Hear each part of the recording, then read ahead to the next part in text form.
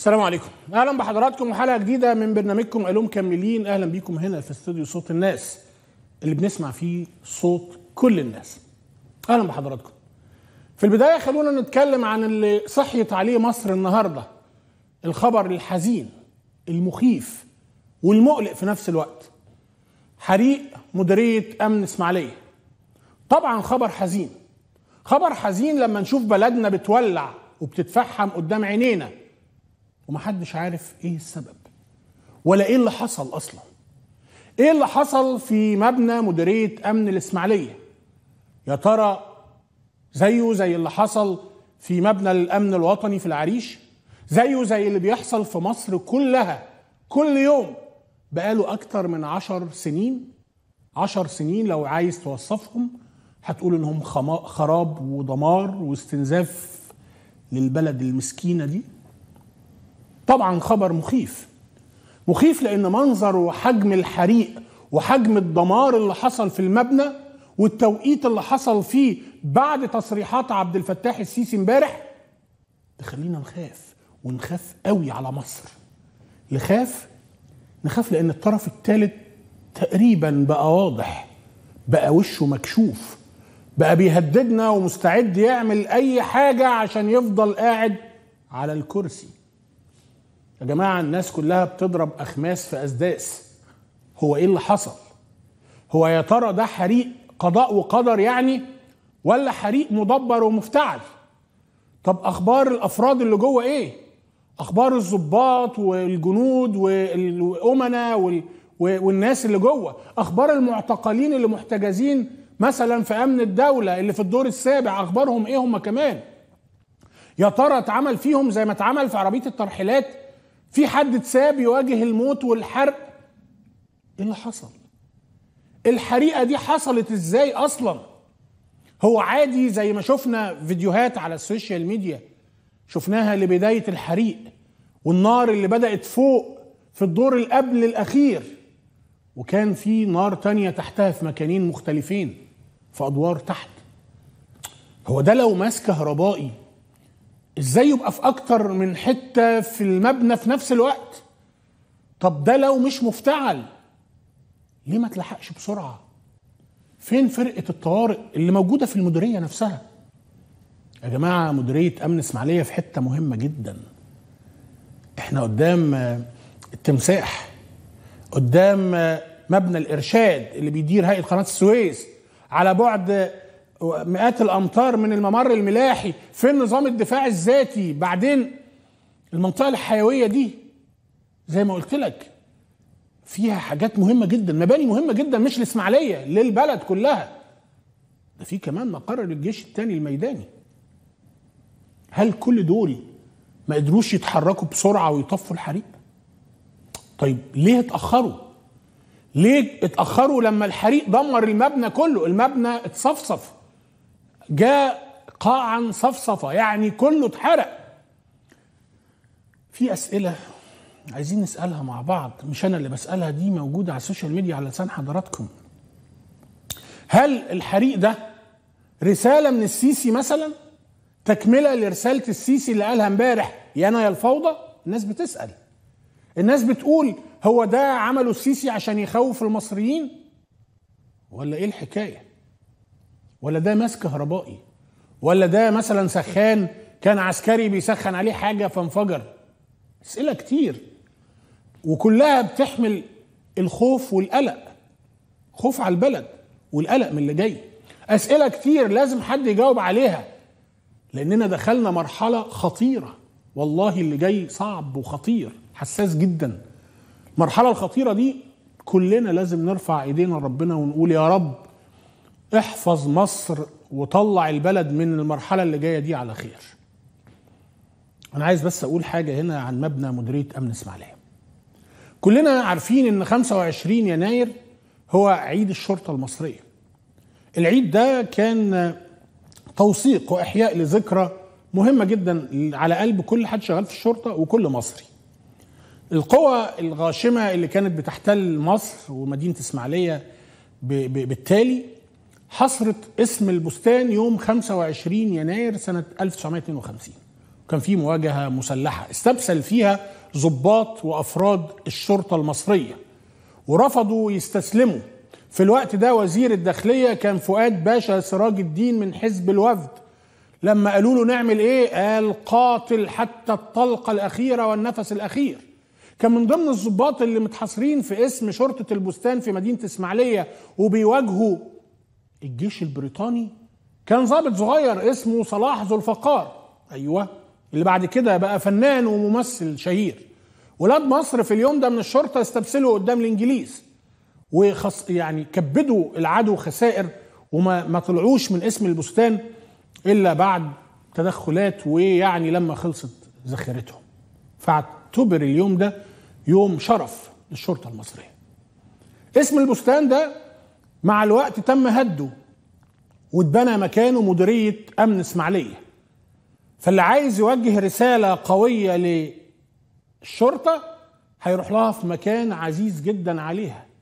مكان مهم جدا في تاريخ الشرطة المصرية وتاريخ مصر كلها مديرية أمن إسماعيلية اللي على أنقاض اسم البستان اللي حصلت فيه ملحمة الشرطة اللي بيحتفل أو بتحتفل الشرطة المصرية بعيدها في 25 يناير. بناء على الحدث العظيم ده.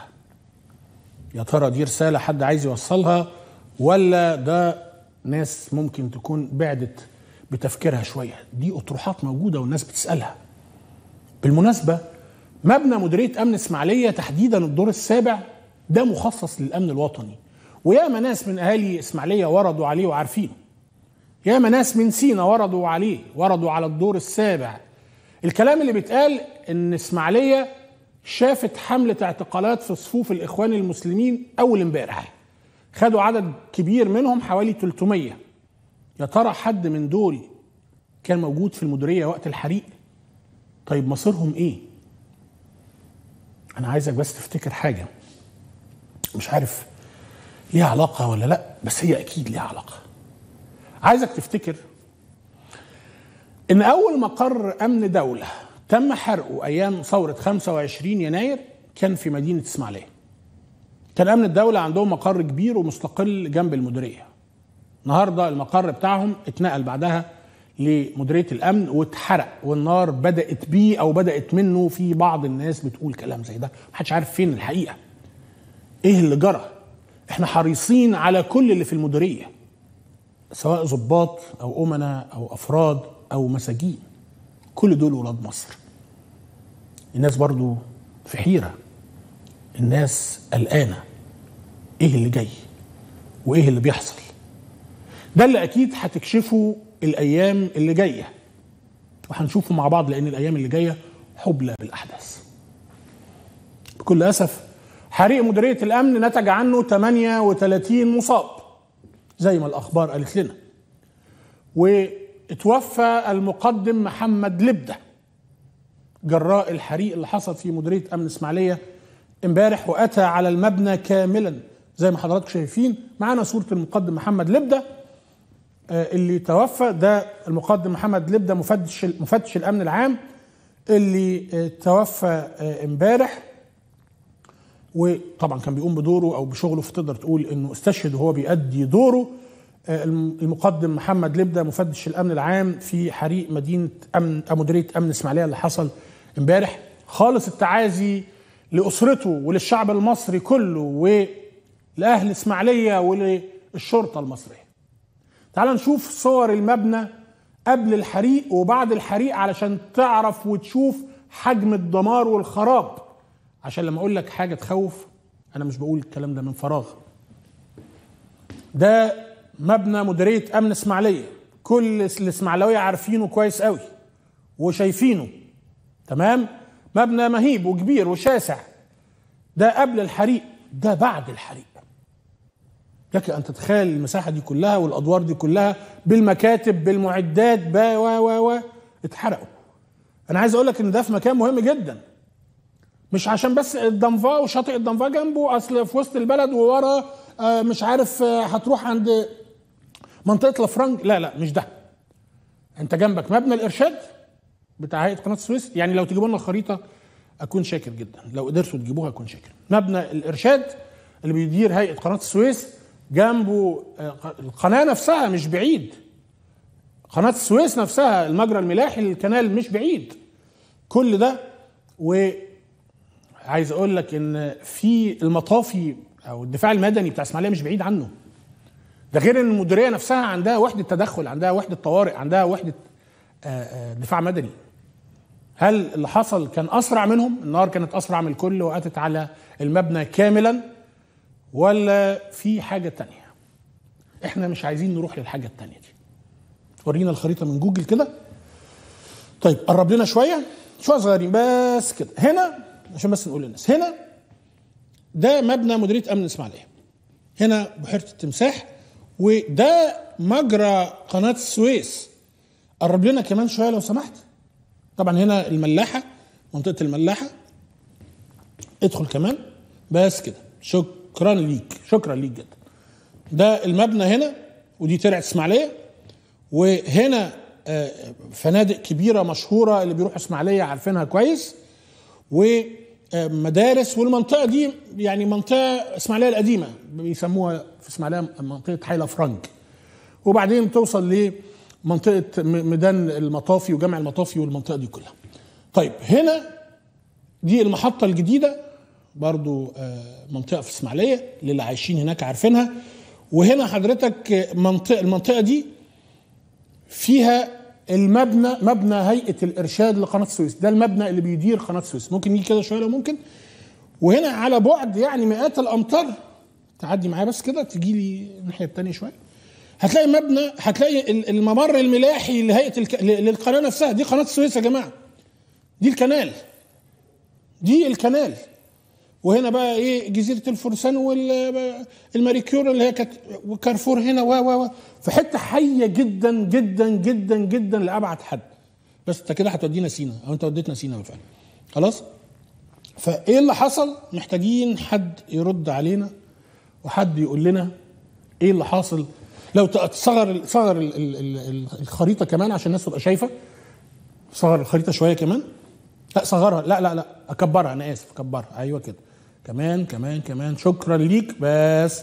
بص في قلب البلد قلب إسماعيلية جنب آه، بحيرة التمساح وجنب الممر آه، ممر قناة السويس واللي راحوا إسماعيلية أكيد مروا من هناك لو رحت حتى الفيلا بتاعت ديليسيبس ورحت الملاحات ورحت على الكباري المعلقة القديمة والهويس بتاع الإنجليز هتلاقي مديرية الأمن فأنت أكيد مريت عليها. إيه اللي حصل فيها؟ تعال نشوف مع بعض فيديو لأول لحظات الحريق. ركزوا فيه هتلاقي النار بدأت من فوق من الدور اللي فيه أمن الدولة زي ما النشطاء على ال social media وشهود عيان موجودين في المكان قالوا وهم بيصوروا. ورينا الفيديو. ده المشهد ودي بداية الحريق أو بداية الحريقة زي المصريين بيقولوا. وبرضه في نار في أدوار تحت زي ما قلت لك. لو أنت شفت الفيديو لو ممكن تعيده لنا جنبنا. هل لأن التصوير من ورا المبنى هل النار كانت آه، يعني مشتعلة في الواجهة ومسمعة في الثلاث أماكن دول بس؟ هل ده جايز يعني؟ جايز. كل شيء جايز. ما نقدرش نجزم بحاجة لغاية لما تظهر الحقائق ونتمنى إنها تظهر. في فيديو كمان بيوريك حجم الكارثة وحجم النيران اللي بتلتهم المبنى كان عامل إزاي. شوفوا تابع معايا. مخيفة. لا خلي الصوت شغال. يعني شوف حتى الصوت الصوت مخيف. الصوت مخيف. اللي مصور ده مواطنين موجود على ال social media على اليوتيوب وعلى آه، تويتر وغيره. بص يعني النيران أتت على المبنى بالكامل. لك أن تتخيل. النيابة قالت في بيان أولي إن المبنى اتفحم. منطقي. يعني منطقي. بص معايا المشهد عامل إزاي. خلي خليه خليه آه، في الشاشة كلها. خلي الناس تشوف. خلي الناس تشوف. يعني خسارة خسارة خسارة للبلد. خسارة للبلد. خسارة. خسارة لمصر. خسارة الفلوس دي وخسارة الامكانيات دي وخسارة آه، يعني ثرواتنا ومقدراتنا اللي بتروح خسارة كبيرة. وللأسف كمان في في خسارة في الأرواح. للأسف بكل أسف المبنى المبنى ده شكل المبنى وهم بيحاولوا يبردوا أنا كنت مستغرب جدا إن اليوم السابع بتقول لك تمت السيطرة على الحريق. تم السيطره بعد ما حرق المديرية كلها تمت السيطرة. كنا عايزين النار نجيبها منين يعني؟ من البر هناك من البر الشرقي للكنال. للأسف تم حرق المبنى بالكامل زي ما حضراتكم شايفين. النيابة قالت زي ما قلت لك إن المبنى اتفحم بشكل كامل. للأسف. بكل أسف. المنظر ده كان النهارده الصبح في مدينة اسماعيلية. أنا بكرر دعواتي للمصابين وبكرر دعواتي للمتوفي. ربنا يرحم المتوفي ويشفي المصابين وأتمنى ويتمنى كل مصري إن الحقيقة تظهر والمصريين يعرفوا إيه اللي حصل. ولغايه لما ده يحصل لازم نبص كويس ونشوف اللي جاري وحاصل في البلد. من عبد الفتاح السيسي. إيه اللي بيحصل؟ إيه اللي بيحصل في البلد؟ وإيه اللي بيعمله عبد الفتاح السيسي وإيه اللي بيقوله؟ وإيه اللي بيعمله بالأخص مع المرشح المحتمل للرئاسة أحمد الطنطاوي؟ لأن في ظني الحريق اللي حصل في مديرية أمن إسماعيلية مش هيبعد مش هيبعد عن المشهد اللي حاصل في مصر كلها.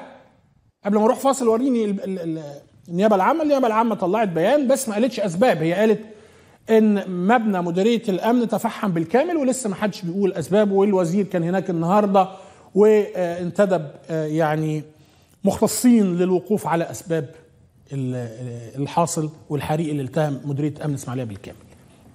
هنطلع فاصل ونرجع علشان نشوف اللي حاصل هات معانا الخبر طب ورينا الخبر معلش قبل ما نطلع الفاصل. أهو السيطرة على حريق مديرية أمن إسماعيلية وبدء عملية التبريد، سيطرة بعد أن أتى على المبنى بالكامل، أنا ما أعرفش دي صياغة صحفية ولا دي صياغة إيه بالظبط. لأن الكلام ده مش حقيقي، أنت سيطرت على عليه بعد ما حرق المبنى بالكامل. ده شيء عجيب وغريب جدا جدا جدا. عموما بكرر المرة الثالثة يعني تمنياتي بالشفاء للمصابين والرحمة لمن فقدوا حياتهم في أماكن عملهم. نتيجة حريق حصل مش عارفين سببه إيه. حصل في مديرية أمن إسماعيلية المبنى المهم في المكان التاريخي المهم للشرطة المصرية كل الشرطة المصرية. فاصل عشان نرجع نشوف آخر أخبار عبد الفتاح السيسي والانتخابات ومسرحية حكاية وطن بمنتهى الأريحية. عبد الفتاح السيسي بيكمل مسرحيته السمجة حكاية وطن. حريق بضخامة وبشاعة الحريق اللي حصل في إسماعيلية. مبنى حيوي وحساس ومهم زي مديرية الأمن اللي هو قريب جدا من هيئة قناة السويس ومن المجرى الملاحي لقناة السويس. ومع ذلك عبد الفتاح قاعد ولد باله عبد الفتاح قاعد مرتاح. وده يخلي كتير من أصابع الاتهام بتشاور عليه. ليه؟ بيتجنوا عليه؟ لا.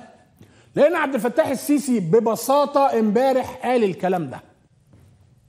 كنت بكلم السادة مجلس القضاء الأعلى الصبح. وقلت لهم تخيلوا إن أنا ممكن اهد مصر ب 2 مليار جنيه. فهم استغربوا قوي. قلت لهم أدي باكيته و20 جنيه وشريط رمادول ل 100000 ل 100000 ل 100000 إنسان ظروفه صعبة. ظروفه إيه يا دكتور مصطفى؟ أنزله يعمل حالة. بكام؟ لو أنا مش هديله بقى 20 الدنيا غلت هديله 1000 جنيه.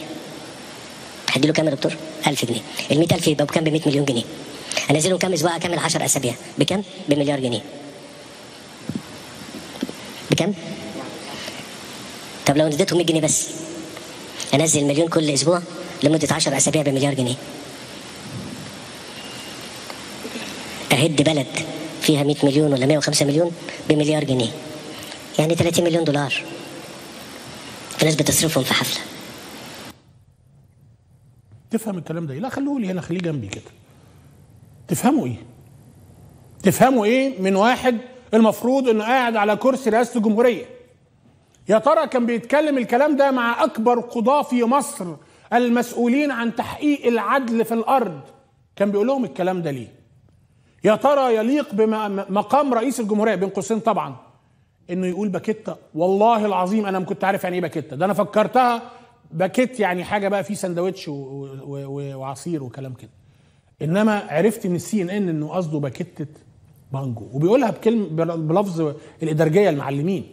عشان كده طبعا من إمبارح في حملة علشان الفيديو ده يتشال من على ال social media. الكلام ده مش مش أنا بس. ما حدش من المصري من المصريين ولا العالم كله قادر يستوعب لحد دلوقتي السيسي كان بيقول إيه. عايز إيه. ومفيش تفسير للي قاله غير إنه يمكن هو اللي كان واخد ترامادول بقى ولا كان واخد مخ- مخدر تاني ولا حاجة. أو يمكن كان بيهزي بالكلام وبدأ يجيب أفعاله وجرايمه اللي قام بيها في حق المصريين بالفعل. بيقولوا إن البني آدم لما بيكون تحت تأثير المخدرات أو البنج بيهلفط بالكلام شوية بيخرف أو بيقول حاجات حصلت في حياته بالفعل. بيقول حاجات عملها في حياته. واضح إن السيسي بيعترف لأنه اتلخبط في الكلام لما جاي يقول في الآخر في آخر جملة زي ما عملت. واتلخبط وحب يعدل فقال زي ما عملنا. واتلخبط تاني وقال حب يعدلها عشان يرميها على الشعب. ويقول زي ما عملوا قبل كده وتم قطع الكلام. طبعا المونتاج اللي شغال سيء لدرجة إنه يفضح السيسي بسهولة جدا. يا جماعة السيسي بيهدد بشكل واضح. يانا يا الفوضى.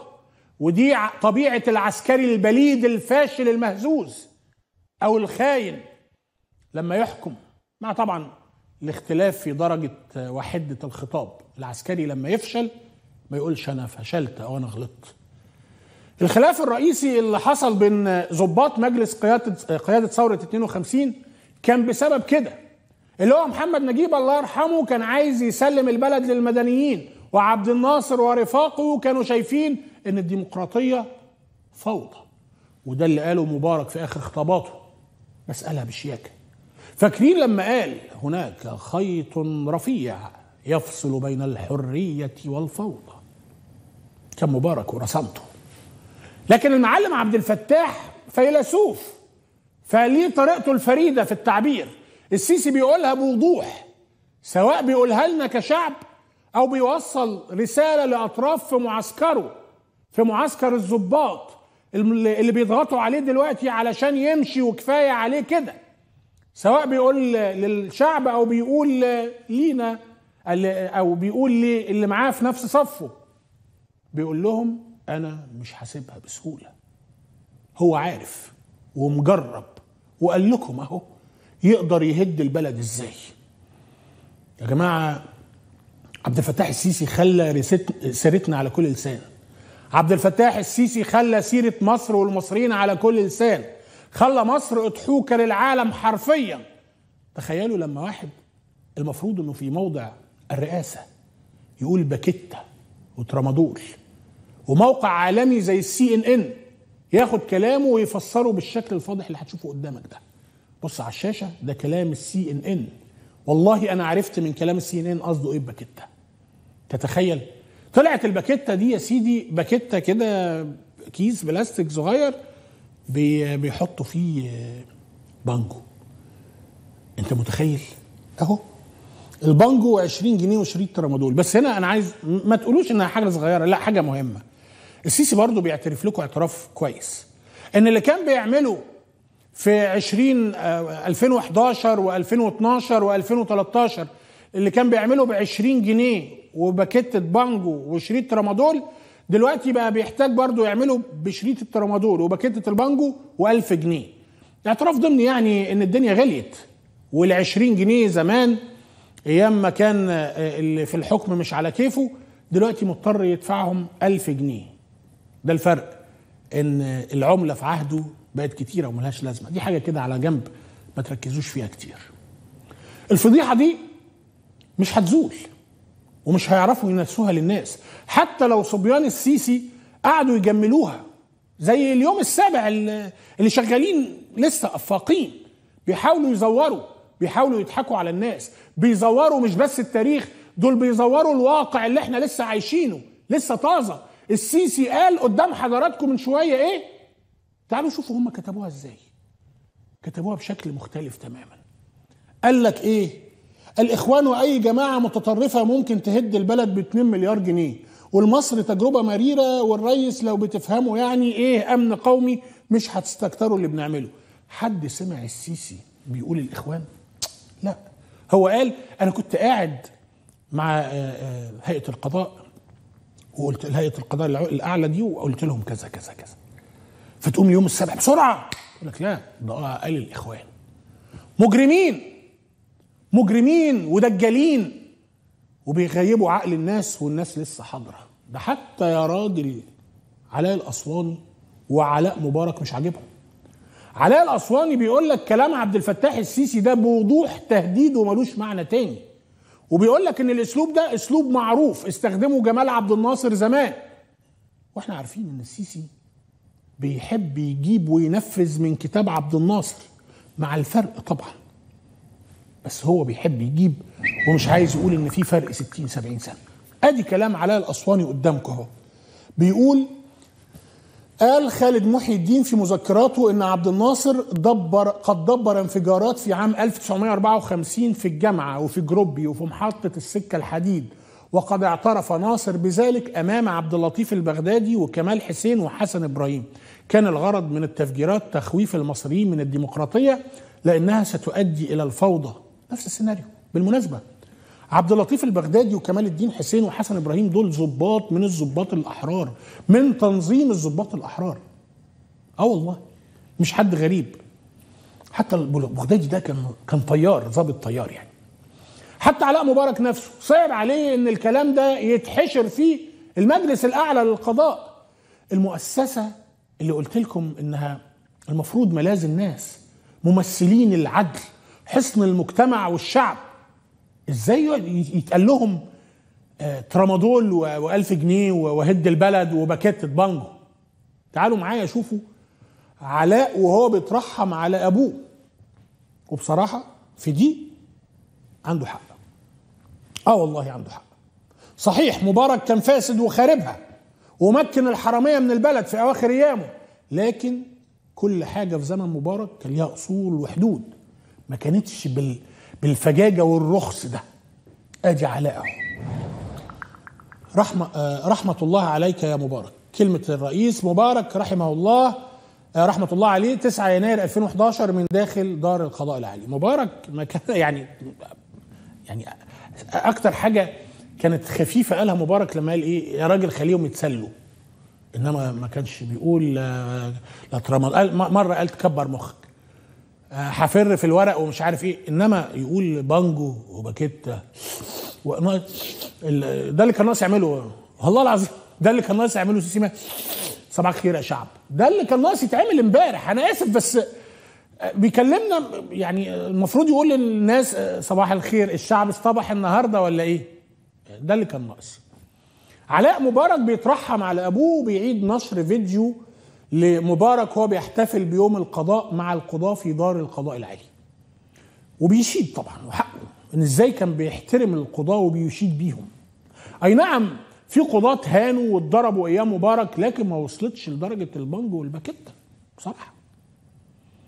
في المشهد ده ما نقدرش نغفل الحشد اللي بيتم النهارده بال100 جنيه والوجبة.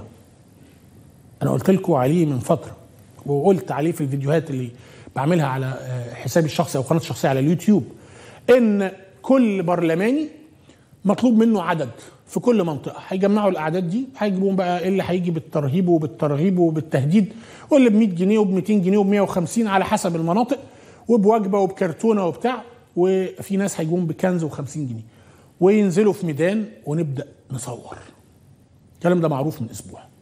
وعشان محرق يعني خليني أحرق لك اللي جاي يوم الجمعة هيروح يصلي بقى ممكن في مسجد مصر ولا حاجة عشان فخيم ويطلع من هناك يروح لمنصة اتعملت له مخصوص اتعملت بسرعة قلت لكم على الكلام ده امبارح ويعلن ترشيحه بقى من منصة فخيمة ويبقى هو مش بي بيقول إنه عايز يرشح نفسه.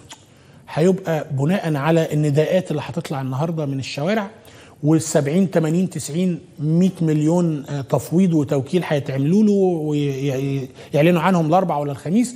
فهو يقول إيه؟ أنا والله ولا كان في نية ولا إرادة. ده أنا مش عايز. بس يلا أنتوا برضو ناس يلا أنا هرشح نفسي عشان خاطركم. بالسوقية دي أيوه هيتقال. وده اللي قال لك عليه أحمد موسى امبارح وكان فخور قوي. أيوه هنعمل. بص يا سيدي. غدا. هتجدوا غدا. آه. غدا. هتجدوا شعب مصر في ميادين مصر. بكرة. هو ده يضايق حد؟ شعب حر. ناس حرة. الأحزاب المصرية. نقابات المصرية. مواطنين مصريين محترمين. بكرة ناس نازلة في ميادين مصر. بكلمك على ميادين مصر. بكرة في احتفالات في مصر. صح صح اهو أنا بقول لحضرتك بكرة في احتفالات في مصر. عندنا احتفالات غدا. أيوه احتفالات دعم السيد الرئيس عبد الفتاح السيسي. زي بقول لك شعب مصر عارف هذا الرجل ودور هذا الرجل ولا يستطيع أحد أحد أحد. كررتها ثلاث مرات. على الإطلاق. لا يستطيع أحد أحد أحد. قلتها ثلاث مرات. إيه العبرة دي؟ مش فاهم. شعب مصر شعب مصر نازل. حد يقدر يمنع؟ حد يقدر يقول حاجة؟ الناس اللي قلنا لهم هنوقف عنكم معاش تكافل وكرامة تقدروا تقولوا لهم حاجة؟ لازم ينزلوا. الناس اللي خدنا منهم بطايقهم غصب عنهم وقلنا لهم تعملوا توكيلات. شعب مصر بحريته. تقدروا تنكروا. الناس اللي جمعنا بطايقهم وقلنا لهم تعالوا عشان هتاخدوا 200 جنيه وكرتونة. آه، شعب مصر. ده يضايق حد. شعب مصر اللي جاي بالقهر والجبر. حد يقدر يمنع حد؟ ولا يقول إن ده مش صح ده كلام أحمد موسى. هي الناس جاية بمزاجها يا أحمد. أنا عارف وأنت عارف والناس دي كلها عارفة إن أنتوا نصابين. وإن عبد الفتاح السيسي شعبيته ولا تمن اللي أنتوا بتقولوه. وإن زي ما قال أحمد طنطاوي امبارح ده زبون مرشح لقطة ممكن بسهولة يتهزم ببساطة. أنا عايز اسالكم سؤال. هو أحمد موسى بيكلم مين؟ سؤال. مين الواحد ده اللي أحمد موسى بيتك عليه قوي ده؟ مين؟ أنا عايزك تحط تصريح السيسي جنب كلام أحمد موسى جنب حريق مديرية أمن إسماعيلية وفي المقابل شوف اللي بيحصل مع أحمد طنطاوي. شوف. شوف أحمد إزاي بيتمنع من التوكيلات. من جمع توكيلاته وأنصاره بيتم الاعتداء عليهم. اسمع كلامه وتصريحاته. هتعرف الفرق بين المدني اللي خطابه كله عن الأمل يحيى الأمل. خطابه بكرة خطابه كله عن بكرة. عايزين نعمل مصر وعايزين نبني ونخلي ونسوي. هو ده. وبين العسكري اللي ما بيشوفش غير الخراب والدمار والتهديد. باكيتة بانج وشريط ترامادول و1000 جنيه وينزل يحرق البلد. اتكلم عن إيه؟ كل كلامه عن إمبارح. المجد اللي كان والمؤامرة المستمرة. تعالوا نشوف بيان طنطاوي النهارده. بيان السيد رئيس الجمهورية الم- المصريين فعلا جاعوا في عهدك وبسبب إدارتك ولم يروا التنمية الموعودة. بمنتهى البساطة. تفاصيل البيان لو نقرأ سريعا مع بعض عشان نفهم الفرق بين العقليه العقلية المدنية والعقلية العسكرية أنا ما بقول دي دي تفاصيل البيان. تقدروا تخشوا على صفحة أحمد طنطاوي وت- وتقروها. أنا هنا مش بقول لك إن أحمد طنطاوي أحسن حاجة في الدنيا. ما بقولكش كده. ولا بقول لك برضو إنه كومبارس. لا لا. أنا لا بقول لك كده ولا كده. بس أحمد طنطاوي نموذج للمواطن المدني اللي بيناضل في وقت كتير غيره تانيين رضيوا إنهم يقفوا في صفوف الذل والعار. رضيوا إنهم يبقوا كومبارسات طنطاوي راجل جدع بيقوم بدور مهم بيخلي الناس تستعيد وعيها تستعيد إنهم يقدروا. تعرف كأن إنك مواطن مصري تقدر والموضوع في إيدك مش في إيد حد تاني. ده مهم. والكلمة في النهاية للشعب. خلوا بيني وبين الناس. اللي يختارني يختارني واللي ما يختارنيش ما يختارنيش بس انت ما تمارسش وصيتك على الناس. ده كلامه كلامه للسيسي. اللي حاصل إن الشعب واقف مع طنطاوي في الشارع بنشوف ده بعينينا ليه؟ لأنه طاقة أمل. طاقة النور الوحيدة اللي قدامه لحد دلوقتي. طاقة الأمل اللي اتفتحت قدام المصريين إنهم يقدروا يغيروا ويملكوا حق التغيير. طنطاوي لو ما عملش غير ده شكرا يا أحمد يا طنطاوي بس لا لسه في أكتر من كده جاي وأنا وأنتوا واللي ياما بينا وهتشوفوا. تعالوا نرجع للبيان. ورينا البيان. البيان أهو. تبعت باستنكار شديد كلمة رئيس الجمهورية التي ألقاها أمس في مؤتمر احتفالي معتاد استخدم فيه الحكومة والجهاز الإداري في الدعاية الانتخابية له على نحو ينتهك مبدأ حياد مؤسسات الدولة وقواعد التنافس في النظم الديمقراطية لكن ما جاء في الكلمة من مغالطات ورؤى سياسية غريبة بلغ من الخطورة شأنا أبعد من ذلك بكثير. لقد تعمد أن يخلط على نحو واضح بين إطلاق الشائعات والأكاذيب من جهة وتوجيه النقد السياسي للمسؤولين من جهة أخرى منكرا. حقيقة أن المعارضة على أساس وطني من أرق من أرقى أشكال الممارسة السياسية وهي أيضا من الحقوق الأساسية للمواطنين وانتقل إلى شكواه التي لا يكف عنها من المصريين الذين لا يقدرون مصريين ما بيقدروش اللي بيعملوا كلام محترم ورصين من مرشح بيحمل أمل للناس. عندي ثلاث مقاطع لاحمد طنطاوي. تعالوا نشوفهم مع بعض علشان لما تشوفهم تعرف أنا عايز أقول لك إيه.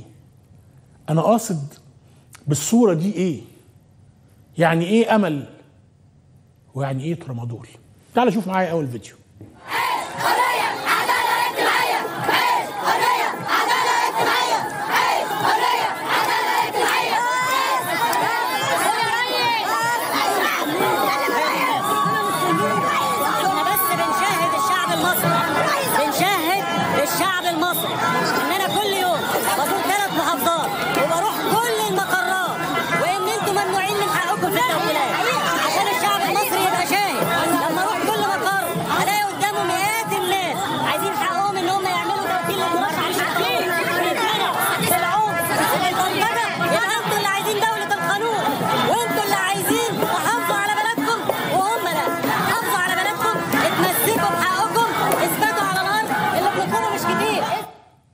محترم.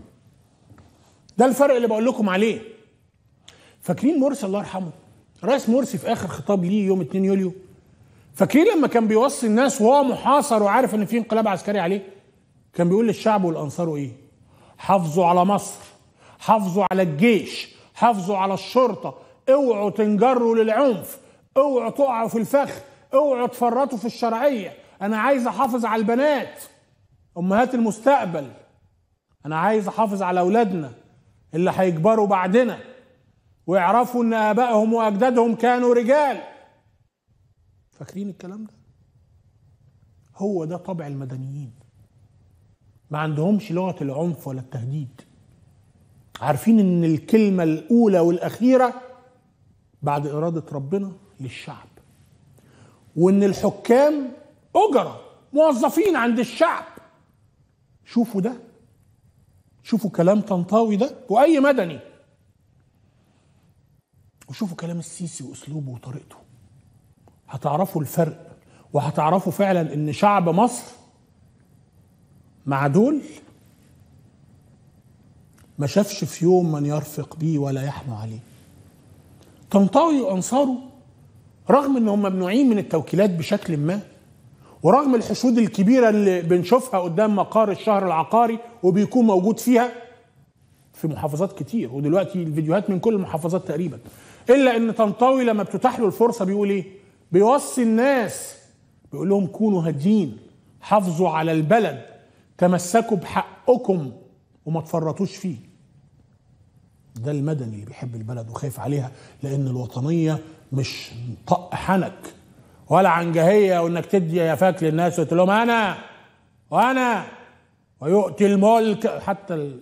لما تيجي تقول آية بتقولها بما بما لا يليق يعني. وتشكيل غلط وحالتك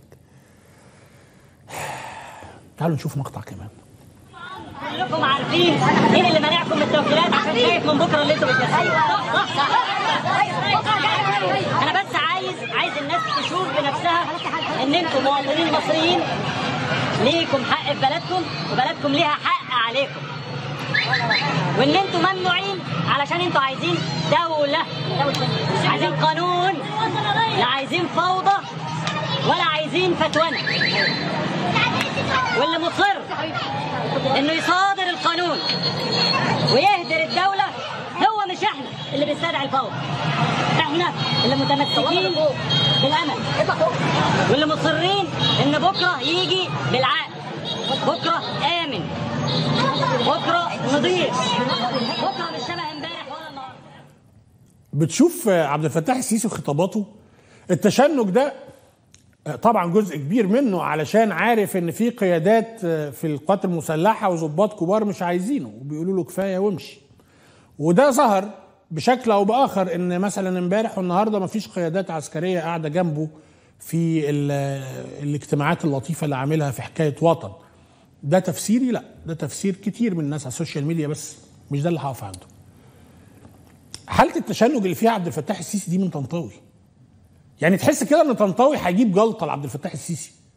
طنطاوي بينقي تصريحاته وبيلعب الانتخابات على الطريقة الغربيه اللي هو مركز.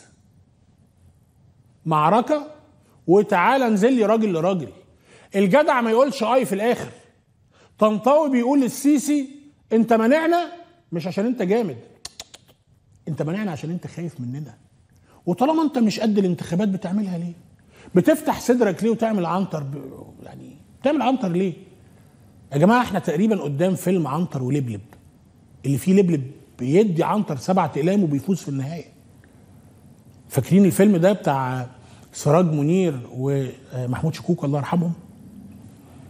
مش عايز أقول لكم التصريحات دي ممكن تعمل إيه في عبد الفتاح السيسي؟ وطبعا صبيانه اللي حواليه اللي عندهم. صحيح ده محمد الباز استقال امبارح ولا مشي من القناة اللي كان شغال فيها؟ هنشوف من ده كتير الفترة اللي جاية. كتير هنشوف بس ما علينا. أنا بصراحة خايف على أحمد طنطاوي. ليه؟ لأنك بتتعامل مع مجرم مجنون. راكبه الجنون العظمة والصلف. طبعا ده السيسي. ممكن يعمل في الطنطاوي في أي حد أي حاجة. طنطاوي عارف إن السيسي عبيط وبيهلفط. ده تمامه وبيعتبر إن دي هبة من هبات السماء ليه. عارف ليه؟ لأنك لما يبقى عندك منافس بالشكل ده فتبقى حاجة سهلة إن أنت تخلص فيها. زي مين؟ هقول لك. فاكر أردوغان؟ لما كان بيقول أتمنى إن زعيم حزب الشعب الجمهوري ولا كليشتار أوغلو لو أنتم مش تعرفوهوش كان بيقول أردوغان كان دايما بيقول أنا نفسي يفضل هو رئيس حزب الشعب الجمهوري. عارف ليه؟ لأنه شايفه منا- منافس زبون. لقطة آه لقطة عفوا. زبون لقطة. تقدر تهزمه وتحط عليه بسهولة. منافس لقطة. مش هتلاقي أحسن من كده. طنطاوي بيعمل نفس الحركة وبيقول نفس الكلام في حق عبد الفتاح السيسي. بيقول له عبد الفتاح السيسي أنت لقطة أنت زبون أنا هطلعك المسرح وأعمل عليك أحلى واجب وهفرج مصر والخلق كلها عليك. طبعا الكلام فيه حبكة درامية. اسمعوا من أحمد طنطاوي أحسن.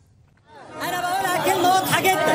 لو رئيس الجمهورية مش قد الانتخابات ما كانش قال يا انتخابات. ما يملك. وكل اللي معاه من شاب واللي معاه دول يبقى مش قد مكانه.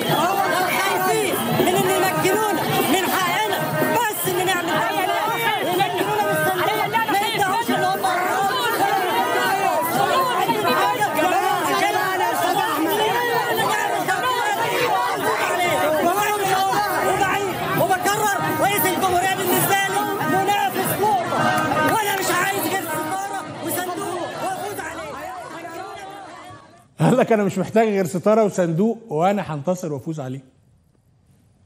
ليه؟ لأن فعلا مش هتلاقي واحد زي عبد الفتاح السيسي مفكر إن هو كل حاجة وأعظم حاجة وأفخم حاجة وهو مش مالي عين الناس اللي جاي منهم.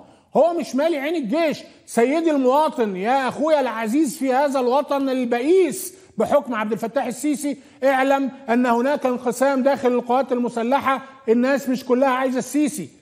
ليه؟ لأن الناس دي مننا. الناس دي بيروحوا بيوتهم بيزوروا أهاليهم بيمشوا في الشوارع وبيشوفوا حالة الضنك اللي وصل لها المصريين. اوعى تصدق إن السيسي إجماع القوات المسلحة ولا الشرطة ولا الجيش. اوعى تفكر إن عبد الفتاح السيسي ده عايزينه وماسكين فيه. هو عارف إنها بتقرب وبتضيق. ومحمود حجازي لما خلى عماد جاد ينزل يقول الكلمتين وبيجددهم امبارح رشح نفسك ده مش من فراغ. ومحمود حجازي ما بيقولش الكلام ده لوحده. أكيد عنده عنده الناس اللي بتقول له خش ويلا. بس أنا عايز أوجه رسالة للفريق محمود حجازي. يا سيادة الفريق ما ينفعش حد يحارب حربك. الجندي الجدع هو الجندي الشجاع. الجندي اللي بيملى عين المصريين هو الجندي البطل. اللي ما بيخليش حد يسوق بيسوق. بداله. إذا كان لك طموح في حكم مصر اتكلم. حتى لو المجلس العسكري ما ادكش الإذن دلوقتي. أنا عارف إن المجلس العسكري ما ادكش الإذن مرة واثنين وثلاثة. بس مش هيكفي يا سيادة الفريق وفاضل 10 12 يوم إن اللي يتكلم باسمك عماد جاد أو غيره. لازم يبقى فيه صوت عالي علشان الناس تستجيب أو ما تستجيبش بإرادتها. وتعمل لك تعمل لك بافر زون تعمل لك القاعدة الشعبية. إحنا عارفين إن الجيش ما بيتحركش إلا بقاعدة شعبية. سيادة الفريق محمود حجازي أنا مش بقول لك الكلام ده عشان أنا حابب إنك تبقى في الحكم أو مش حابب. أنا بس بقول لك الدليل إلى قلب وعقل واحترام المواطن المصري المدني العادي. المواطن المصري بيحترم الضابط أو العسكري الجدع اللي ما بيخافش اللي بيأدي رسالته بكل فدائية.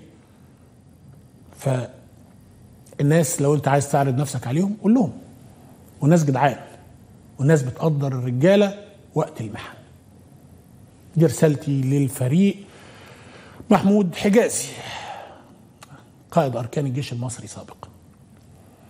عموما كده أنا وريتكم اللي حصل في البلد النهارده وإزاي نقدر نفهم اللي حصل من خلال تصريحات السيسي امبارح والحشد اللي بيحصل له النهارده الحشد الإفك اللي حاصل الحشد أبو فلوس ده.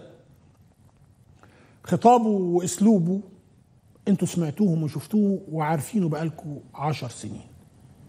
ونقارن باللي بيعمله أحمد طنطاوي وأسلوبه وخطابه وحضوره بين الناس بهذه البساطة وهذا الوضوح.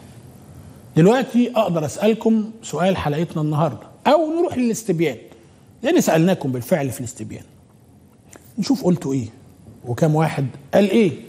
الاستبيان بيبقى جميل إنه بيديك انطباع عن آراء الناس. ورينا كده لو سمحت. من ست ساعات قلنا عزيزي المواطن كلام السيسي عن هد البلد بالترامادول وباكيتة بانجو يا ترى يقصد بيه إيه؟ ادينا ادينا لحضراتكم أربع اختيارات. أول اختيار بيهدد الشعب بنشر الفوضى وده حاز على 20% من أصوات حضراتكم. تاني اختيار كان رسالة للي عايز ينقلب عليه من الجيش وده حاز على 5% من آراء حضراتكم. والاختيار الثالث كان زلة لسان كشفت مين هو الطرف الثالث والاختيار ده حاز على 5% من آراء حضراتكم. أما الاختيار الرابع وهو كل ما سبق وده حاز على 70% من آراء واختيار حضراتكم. تمام؟ تمام. زي ما شايفين مع بعض. تعالوا نشوف بعض التعليقات اللي جت على لسان حضراتكم. سمير بيقول الراجل صريح واللي في قلبه على لسانه. مفيش بجاحة أكتر من كده ولا سفاهة أحط من كده. نهاد بيقول ربنا بيقول في كتابه العزيز. بسم الله الرحمن الرحيم. أم حسب أم حسب الذين في قلوبهم مرض أن لن يخرج أن لن يخرج الله أضغانهم. صدق الله العظيم. وقال عز من قائل ولتعرفنهم بسيماهم ولتعرفنهم في لحن القول. صدق الله العظيم. التعليق اللي بعد كده من أحد المشاركين بيقول إحنا أصلا مش عايشين في دولة بالمعنى المعروف للدول المحترمة. عايشين في عزبة في وسية في تكية. ملهاش صاحب. اللي معاه سلاح بيحكمها. ده انت التعليق اللي بعد كده من أحد المشاركين بيقول اعتراف ضمني بما كان يدبر لهذا الشعب من أيام عبد الناصر للآن. ويمكرون ويمكر الله والله خير الماكرين. أما محمود فبيقول لنا واضح عليه الخوف والقلق والتوتر. نهاية حكمه قربت إن شاء الله. نخلص منه قريب يا رب. أما مصطفى بيقول لنا إحنا عايشين في غابة مش دولة. سقطت جميع الأقنعة التي كان الحكم العسكري متخفي وراءها منذ حكم العسكر من عام 52 الظلم والجهل والنهب والمحسوبية والخاتمة الخيانة والتفريط في مقدرات البلد. طب أنا ما لحقتش أقرأ يا عم. ارجع يا عم شوية الله يخليك وفي الآخر حرق البلد. شكرا ليك. حياة بتقول اللهم عليك بالظالم اللهم خذه أو اللهم هده في صحته. يا إيه الدعوه الجامدة دي؟ التعليق اللي بعد كده بيقول إحنا عايزين نعيش زي الدول المحترمة لكن بالوضع ده بلطجة على الشعب. تميم ولا مين التعليق اللي بعد كده عموما بيقول هو قال الرسالة وشكله أهو. بيقول دي مي تقريبا. هو قال الرسالة وشكله أهو بنفذها فعلا. ربنا يصبر أهالي الإسماعيلية كلهم يا رب ويرحم اللي ماتوا. اللهم آمين. خالد بيقول بيهين الشعب ويقول إنه لا يفهم. وغالبا دي حاجة اسمها الإسقاط. مش متأكد بترمي بأمراضك وأخطائك على اللي حواليك. التعليق اللي بعده من أحد المشاركين بيقول النظام بيهدد الشعب بنشر الفوضى. أما آه، التعليق اللي بعد كده بيقول كل دول وأنا عارفة إن هو الطرف الثالث من يوم مجزره بورسعيد. اللهم عليك بمن خرب البلد ومن حوله خارج البلد ومن حوله خارج البلد وداخلها. التعليق اللي بعد كده من أحد المشاركين بيقول اللي بيحصل حاليا فرصة عظيمة لينا لكسر الخوف والنزول إلى الشارع. لنسترد بلدنا واللي يتعرض لينا من بلطجية أو غيره. تيت نقط. آه، رضوان بيقول لو مو حاطط الخطة ودارسها مع نخنوخ ما كان حكي حكى هذا الكلام. التعليق اللي بعد كده بيقول أنا ما سمعتش الخطاب ده أرجو إعادة النشر. لا ده تلاقيه عند عندهم بقى في قنواتهم ال 103 قناة. آه بعد كده ما عليكم. من. من يقصد إيه؟ ده محدد الثمن اللي هو مليار جنيه. مين يقدر يوفر مبلغ زي ده؟ غيره هو أو أحد من عياله. محمد أسامة بيقول سيناريو سوريا. هو أنا بعمل قصور وبشتري طيارات عشان في الآخر تطلعوني وكمان تعدموني. جراء الخيانة طبعا إنسوا على جثتي وهو يمشي في اتجاه قدره وقدرنا أيضا. مودي بيقول بدأ بحريق مديرية أمن إسماعيلية اللي بتحوي جميع ملفات شمال سيناء من عشر سنين. ده كلام مهم. الحوت الأزرق وده بيكتب معانا دايما بيقول عفوا تكتب زلة مش مش ذلة وبعدين ما فيش حد من الموجودين فتح معاه سيرة طيارة زامبيا ولا سيرة الجيش والشرطة اللي قتلوا بعض في سيناء عشان شحنة مخدرات. كلهم بس قاعدين يسقفوا طيب يسقفوا بالصوت. بالمناسبة يسقفوا صاد قاف ف واو بالم... يعني خلينا نعدي لبعض بقى. تزعلش يا حوت. كلهم قاعدين يسقفوا زي الهبل وبس. وتفضرس وشيخ الأزهر. قاعدين يسقفوا زي ما يكون بيتفرجوا على مسرحية لعادل إمام. ده الحال اللي وصلت ليه مصر. إنا لله وإنا إليه راجعون. الله يعوض علينا ببلدنا. لك الله يا مصر. أحمد حسن أنا أو الفوضى لا جديد. هتطلع هتنزل هيجيب لك جمال. Play Sport بيقول ألو مكملين صوت الناس صوت الشعب شكرا ليك. وأن نتمنى يكون ده فعلا اللي بنقدمه لأن دي رسالتنا والله. شكرا ليك. في رئيس دولة محترم يطلع يهدد شعبه بالترامادول والبانجو المفروض دي تكون نهايته. الكلام ده من أحد المعلقين. مي بتقول على فكرة هو كمان بقى بيرد على تجمعات تنطوي بالناس وبيعمل حفلة في ميدان في الميدان في دمياط بمناسبة نصر أكتوبر بس الدخول بالبطاقة. ياسين بيقول كل ما أشوفه في التلفزيون أشعر برغبة في ال... كم أكره هذا الرجل. طيب مش هنقول بقى. كفاية كده. طيب كفاية كده. كفاية كده يعني تعليقات كتير. وأنا سعيد ان بقرأ تع... يعني بقول تعليقات حضراتكم. بس عندنا كمان فيديو عايزين نعرضه على حضراتكم. وعندنا الفقرة المهمة جدا. صوت الناس. أنا هستنى حضراتكم هنا عشان أسمع منكم بشكل مباشر. رأيكم ما بين الترامادول والأمل. اتصلوا بينا على الأرقام اللي قدامكم على الشاشة. بأي وسيلة اتصال ممكنة؟ أو ابعتوا لنا وإحنا نكلمكم. مستنيكم بعد الفاصل أو بعد التقرير. زمان كان في مثل ساير بيقولوا المصريين وهو طوب العمودية واسع عليك. وأصلهم كان على العمدة اللي مش مالي قيمته وهبته وكان بمجرد ما يصاب العمدة بهذا المرض العضال سريعا ما بيلبس البيجامة ويقعد في الدوار. وبعد ما اختفت مهنة العمودية وحل محلها محافظ كان لواء سابقا لقينا طوب القيادة والزعامة في حتة تانية لدرجة إن رأس النظام في مصر بيتكلم عن باكيتة بانجو وشريط ترامادول فعلا طوب الرئاسة واسع عليك. ده كان الجوهر. لكن الجوهر حاجة تانية خالص. الهدف من كلام الجنرال هو تخويف الناس. بيقول لهم لو نزلتوا سهل قوي أبعت لكم بلطجية واخدين ترامادول. ومن هنا نقدر نقول بكل بساطة مين الطرف الثالث في ثورة يناير. مين اللي خطط ونفذ مذبحة بورسعيد اللي راح فيها 74 شهيد من الأهلوية؟ ومين اللي نفذ مذابح ما بعد ثورة يناير؟ الطرف الثالث بقى واضح للعيان أهو. ملف البلطجية في مصر بدل ما يتم القضاء عليه بتستعين بيهم السلطة عشان تقمع شعبها وترهبهم لمجرد إنهم بيقولوا حرام عايزين ناكل ونشرب ونعيش حياة آدمية. ولو مقتنعين إن الثورة خراب هتقضي على الأخضر واليابس فكمان منعين طنطاوي من تحرير التوكيلات. وما فيش نفس لأي مرشح مش على هوا السيسي. النهارده تقدر بكل بساطة تعرف ليه الشرطة ما بتقبضش على البلطجية اللي بينفذوا إجرامهم بحق الناس. الإجابة لأنهم بكل بساطة بيشتغلوا مع السلطة. النهارده تقدر تعرف ليه صبري نخنوخ عليه أكبر جهاز أمني خاص. ببساطة عشان البلطجية أسرع من المحاكم اللي بتقعد سنين عشان تاخد حقك. البلطجة سلاح السيسي الجديد. لو حد فكر ينزل يعمل مظاهرات رئيس الدولة بيهدد شعبه بالخراب والقتل. وده أكبر دليل تعرف بيه إن النظام الحالي بيخرب مش بيعمر وجاي لهدها مش أكتر. عزيزي السيد في الوطن السيد كل مصري وكل حر.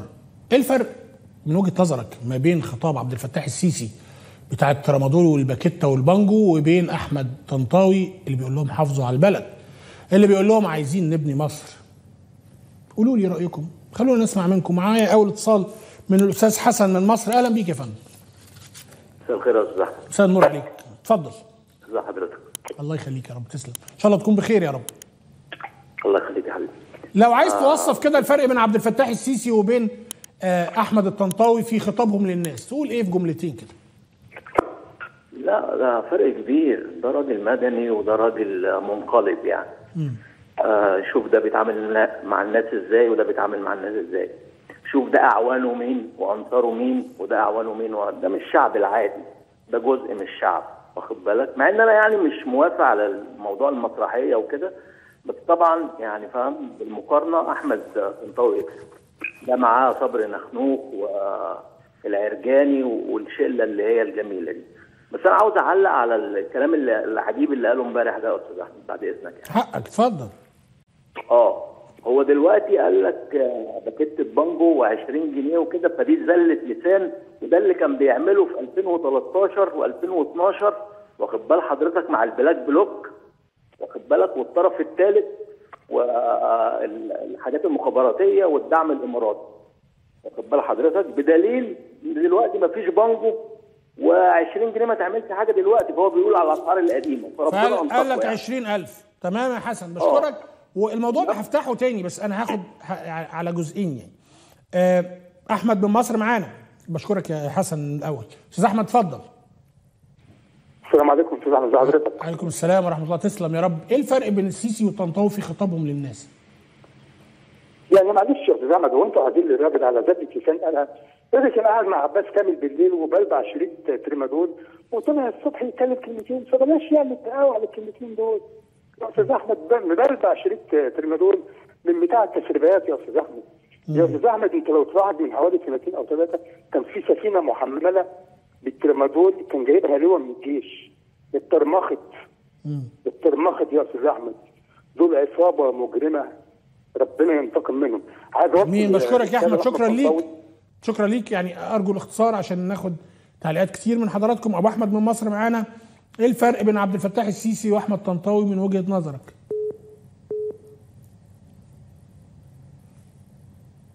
أبو أحمد معايا؟ أحمد طنطاوي وشه وشه آه اتفضل. أيوه أنا معاك يا أستاذ أحمد. اتفضل. آه، الأستاذ أحمد وشه بشوش ومعاه. امه مصريه وابوه مصري يختلف عن المجند اللي جاي يصوت على الجمهور عليها بتاع الناس اللي هم الفدائيين الناس اللي كانوا بيحاربوا اسرائيل وقتلوا اسرائيل يروح نابش جمهورهم ده عايزه كوبري ده عايزه كوبري ده عايزه كوبري مفيش الا الكباري تيجي عند القبور بتاع المسلمين بس ما جاتش عند اليهود قسما بالله يا أستاذ احمد البساتين عايزه كوبري من عند عايزه كوبري من من عند الجبه من عند النبي المهم بحر. عايزه عايزه أنا أنا يعني الصوت واضح يا جماعة أنا مش سامعه كويس. طيب أنا أنا عموما لما حد بيتصل يا جماعة عشان نبقى متفقين آه، بختصر مع اللي أنا مش سامعه كويس لأن لازم أكون سامع حضرتك بتقول إيه علشان ما ينفعش نمرر أي رسالة كده. فرجاء نكون في مكان فيه شبكة كويسة ويعني حافظ على إنك تكلمني من التليفون تسمعني من التليفون مش من التلفزيون وتكون قافل السبيكر لو سمحت. أستاذ أحمد من مصر معانا أهلا بيك. أهلا بيك. إزيك يا أستاذ أحمد؟ عامل أهلا إيه؟ أهلا بحضرتك. أهلا وسهلا. اتفضل يا فندم. الله يخليك. بقول لك يا أستاذ أحمد أنت بتقول لي إيه الفرق بين ده وده؟ الفرق بين البانر اللي هو وراك يا أستاذ أحمد. ترامادول وأمل. هو ده الفرق. أنا ما عنديش فرق غير كده. وبعدين يا أستاذ أحمد أنا لما كنت بتفرج على الفيديوهات بتاعت الكراتين دي أنا جالي يأس. جالي يأس وقلت إحنا مش هنتغير. بس لما شفت الراجل ده في الشارع قسما بالله اداني أمل. حتى بقى لو هو بتاع مخابرات بتاع أي حاجة بس هو اداني أمل. أنا حسيت إن مصر هتبقى معاه حلوة. يمسك بقى يلعب بينا يشتغلنا ما اشتغلناش يطلع راجل كويس مش كويس. أنا عايزه يتغير مكان الغنزير اللي جنبه ده اللي هو السيسي ده. تمام يا أبو حميد. أنا أنا بشكرك جدا. يعني لسه في أمل والناس تقدر تغير. أستاذ سامي من أمريكا تعليق حضرتك إيه على طريقة طرح عبد الفتاح السيسي وكلامه مع الناس وطريقة طرح وكلام أحمد طنطاوي مع المواطنين المصريين؟ اتفضل يا فندم. مساء الخير. أستاذ نور يا فندم. هو اولا يعني ممكن أتكلم على موضوع حريق المبنى ده اي في اي الأول. اتفضل. اتفضل يا فندم. آه هو الحريق ده له هدفين. الهدف الأولاني إن هو يلبسها للإخوان والناس اللي هم بيعارضوه. والهدف الثاني إن هو بتوع الإمارات أنا حضرتك قلت انها في انها في مكان استراتيجي يعني مكان كويس يعني. فتلاقي بتوع الإمارات قالوا له إن ده مكان كويس فعايزين يستثمروا فيه زي ما عايزين دلوقتي ياخدوا وزارة الحربية آه سوري الكلية الحربية. أنت عارف عايزين ياخدوا مكان كليه الكلية الحربية ويستثمروا فيه. آه. يعني مسخره لما ألاقي والله الحبتور بيقول للمصريين آه، شيلوا ال- الكلية الحربية من هنا عشان عايزين انقلوها عشان إحنا عايزين نستثمر هنا ده إيه ده؟ ممكن يكون نفس العملية ممكن يكون بس هو ما قدرش يشيل مديرية الأمن فكل عملية نروح حرقها بعد كده خلاص بقت جاهزة لل- للجماعة اللي هم عايزين ياخدوها. ده متهيألي وجهة نظري الحاجة الثانية إن هو بالنسبة إن على فكرة الناس بتأيد آه، طنطاوي ليس حبا في طنطاوي ده علشان هم كرها في السيسي هو السيسي محدش قبله صدقني بقول لك لكن هو يعني اللي قدامهم حاليا هو طنطاوي فعشان كده الناس بت- بتجري. لكن أنا بصراحة آه يعني هو يعتبر أحسن الموجودين حاليا إحنا مش عارفين إيه عمو- اللي عموما. أستاذ سامي خل... خليني أقول لحضرتك إن الأيام اللي جاية ربما يكون في مرشحين آخرين لا طنطاوي ولا يمامة ولا اللي الناس دي. ويكون في ناس مختلفة. ده مش تقليل من حد حاجة عايز أقولها كمان. طيب سريعا لأن في منتصرين آخرين يا فندم. لا هو على طول. لا أنا حتى في حاجة عايز أقولها بس مش عايز أقولها على الهوا على طول. عايز ابقى يعني أقولها لك أنت أو ولا اسيبها في الكنترول و- وهم يقولوها لك. طيب أتمنى حضرتك افضل معانا والكنترول هيكلمك دلوقتي وياخد منك معاك، أنا المعلومة. معاك. بشكرك جدا يا أستاذ سامي. تحياتي ليك. محمد من اسكندرية. أهلا يا أستاذ محمد. أستاذ محمد اتفضل. عامل إيه؟ عامل إيه يا ابو عبد الله؟ ازيك؟ ربنا يخليك تسلم يا رب تحياتي ليك. بص يا ابو عبد الله اليومين اللي جايين دول هتحصل حاجات زي ما حصلت في مديريه أمن إسماعيلية. وهيجيبوا ناس يدعوا إن هم دول إخوان. والشغل اللي أنت عارفه الإعلام اللي هيحصل. فأنا عايز أقول للمصريين يعني فوقوا.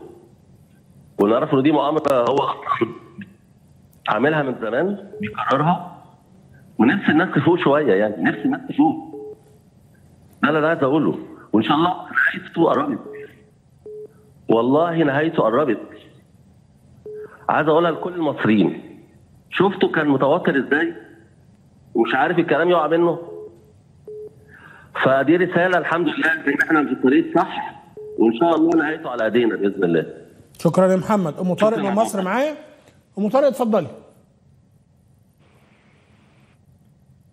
ام طارق معايا؟ أيوه أستاذ أحمد. أهلا يا ام طارق أيوه. معاك أهلاً. ازي حضرتك عامل إيه؟ تسلمي يا رب. طبعا طبعا طبعا في فرق بين أحمد طنطاوي والعميل الصهيوني ده. وبعدين ده عباس ترمادور اللي بيقولوا عليه أنا ما أعرفش أسامي المخدرات اللي بيقولوا عليها دي. أيوه. هو يا أستاذ أحمد أنتوا كنتوا جايبين التسريبات بتاعه آه، عباس كامل مع صحيح. مع السيسي لما بيتكلموا ويقول لك ترامادول. فاحنا دول اول ما مسك البلد هو دي عصابة. دي هم كانوا عصابة. بيتكلموا بطريقة اللي هم بتوع المخدرات ومش مش طريقة ناس محترمة. فاحمد طنطاوي راجل محترم بصراحة إحنا ما شفناش حاجة منه وحشة. بس وإن شاء الله إن شاء الله هننزل ونأيده بإذن إن شاء الله يا اشكرك الله. شكرا ليكي تحياتي لحضرتك. أم محمد من مصر معانا. أهلا بيكي. أهلا بحضرتك. إزيك يا أستاذ أحمد؟ أهلا وسهلا بيك يا فندم. آه، إيه الفرق من وجهة نظرك بين طرح عبد الفتاح السيسي اللي بيطرحه للناس وانه بيديهم قفاهم بقى كده وهو قاعد ويتكلم وأحمد طنطاوي اللي واقف في وسط الناس وبيتكلم؟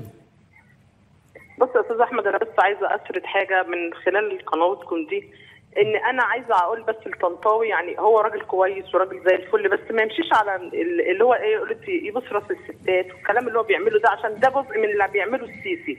ودي برضه معظم الناس بيعلقوا على الحتة دي. دي حاجة.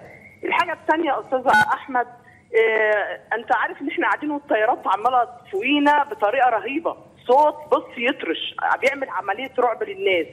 الطيارات علينا ماشية من فوق يعني عامل حاجات عملية سعر للشعب. حاجة تانية هو يعني الشرطة مش شايفة إن هو ابتدى يولع في في المديريات والحاجات دي؟ يعني هو بيموت فيهم يعني هيموت الشعب. والشرطة دي مش جزء من الشعب. مش شايفين الغلا والكوى ده إنسان مجرم مجرم بطبعه.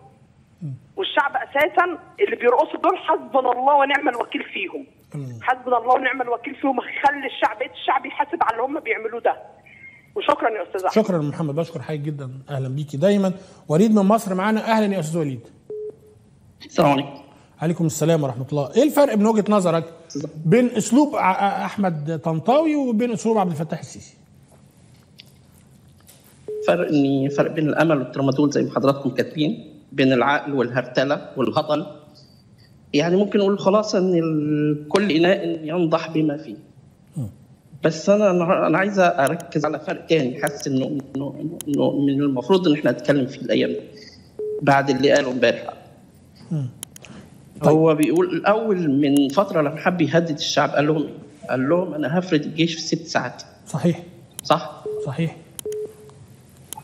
إيه اللي خلى الفرق دلوقتي النهارده لما يحب يهدد الشعب يقول لهم لا أنا 2 مليار وهد البلد وأنا هدد البلد ولا أعمل حالة وترامادول وباكيتا و... إيه الفرق؟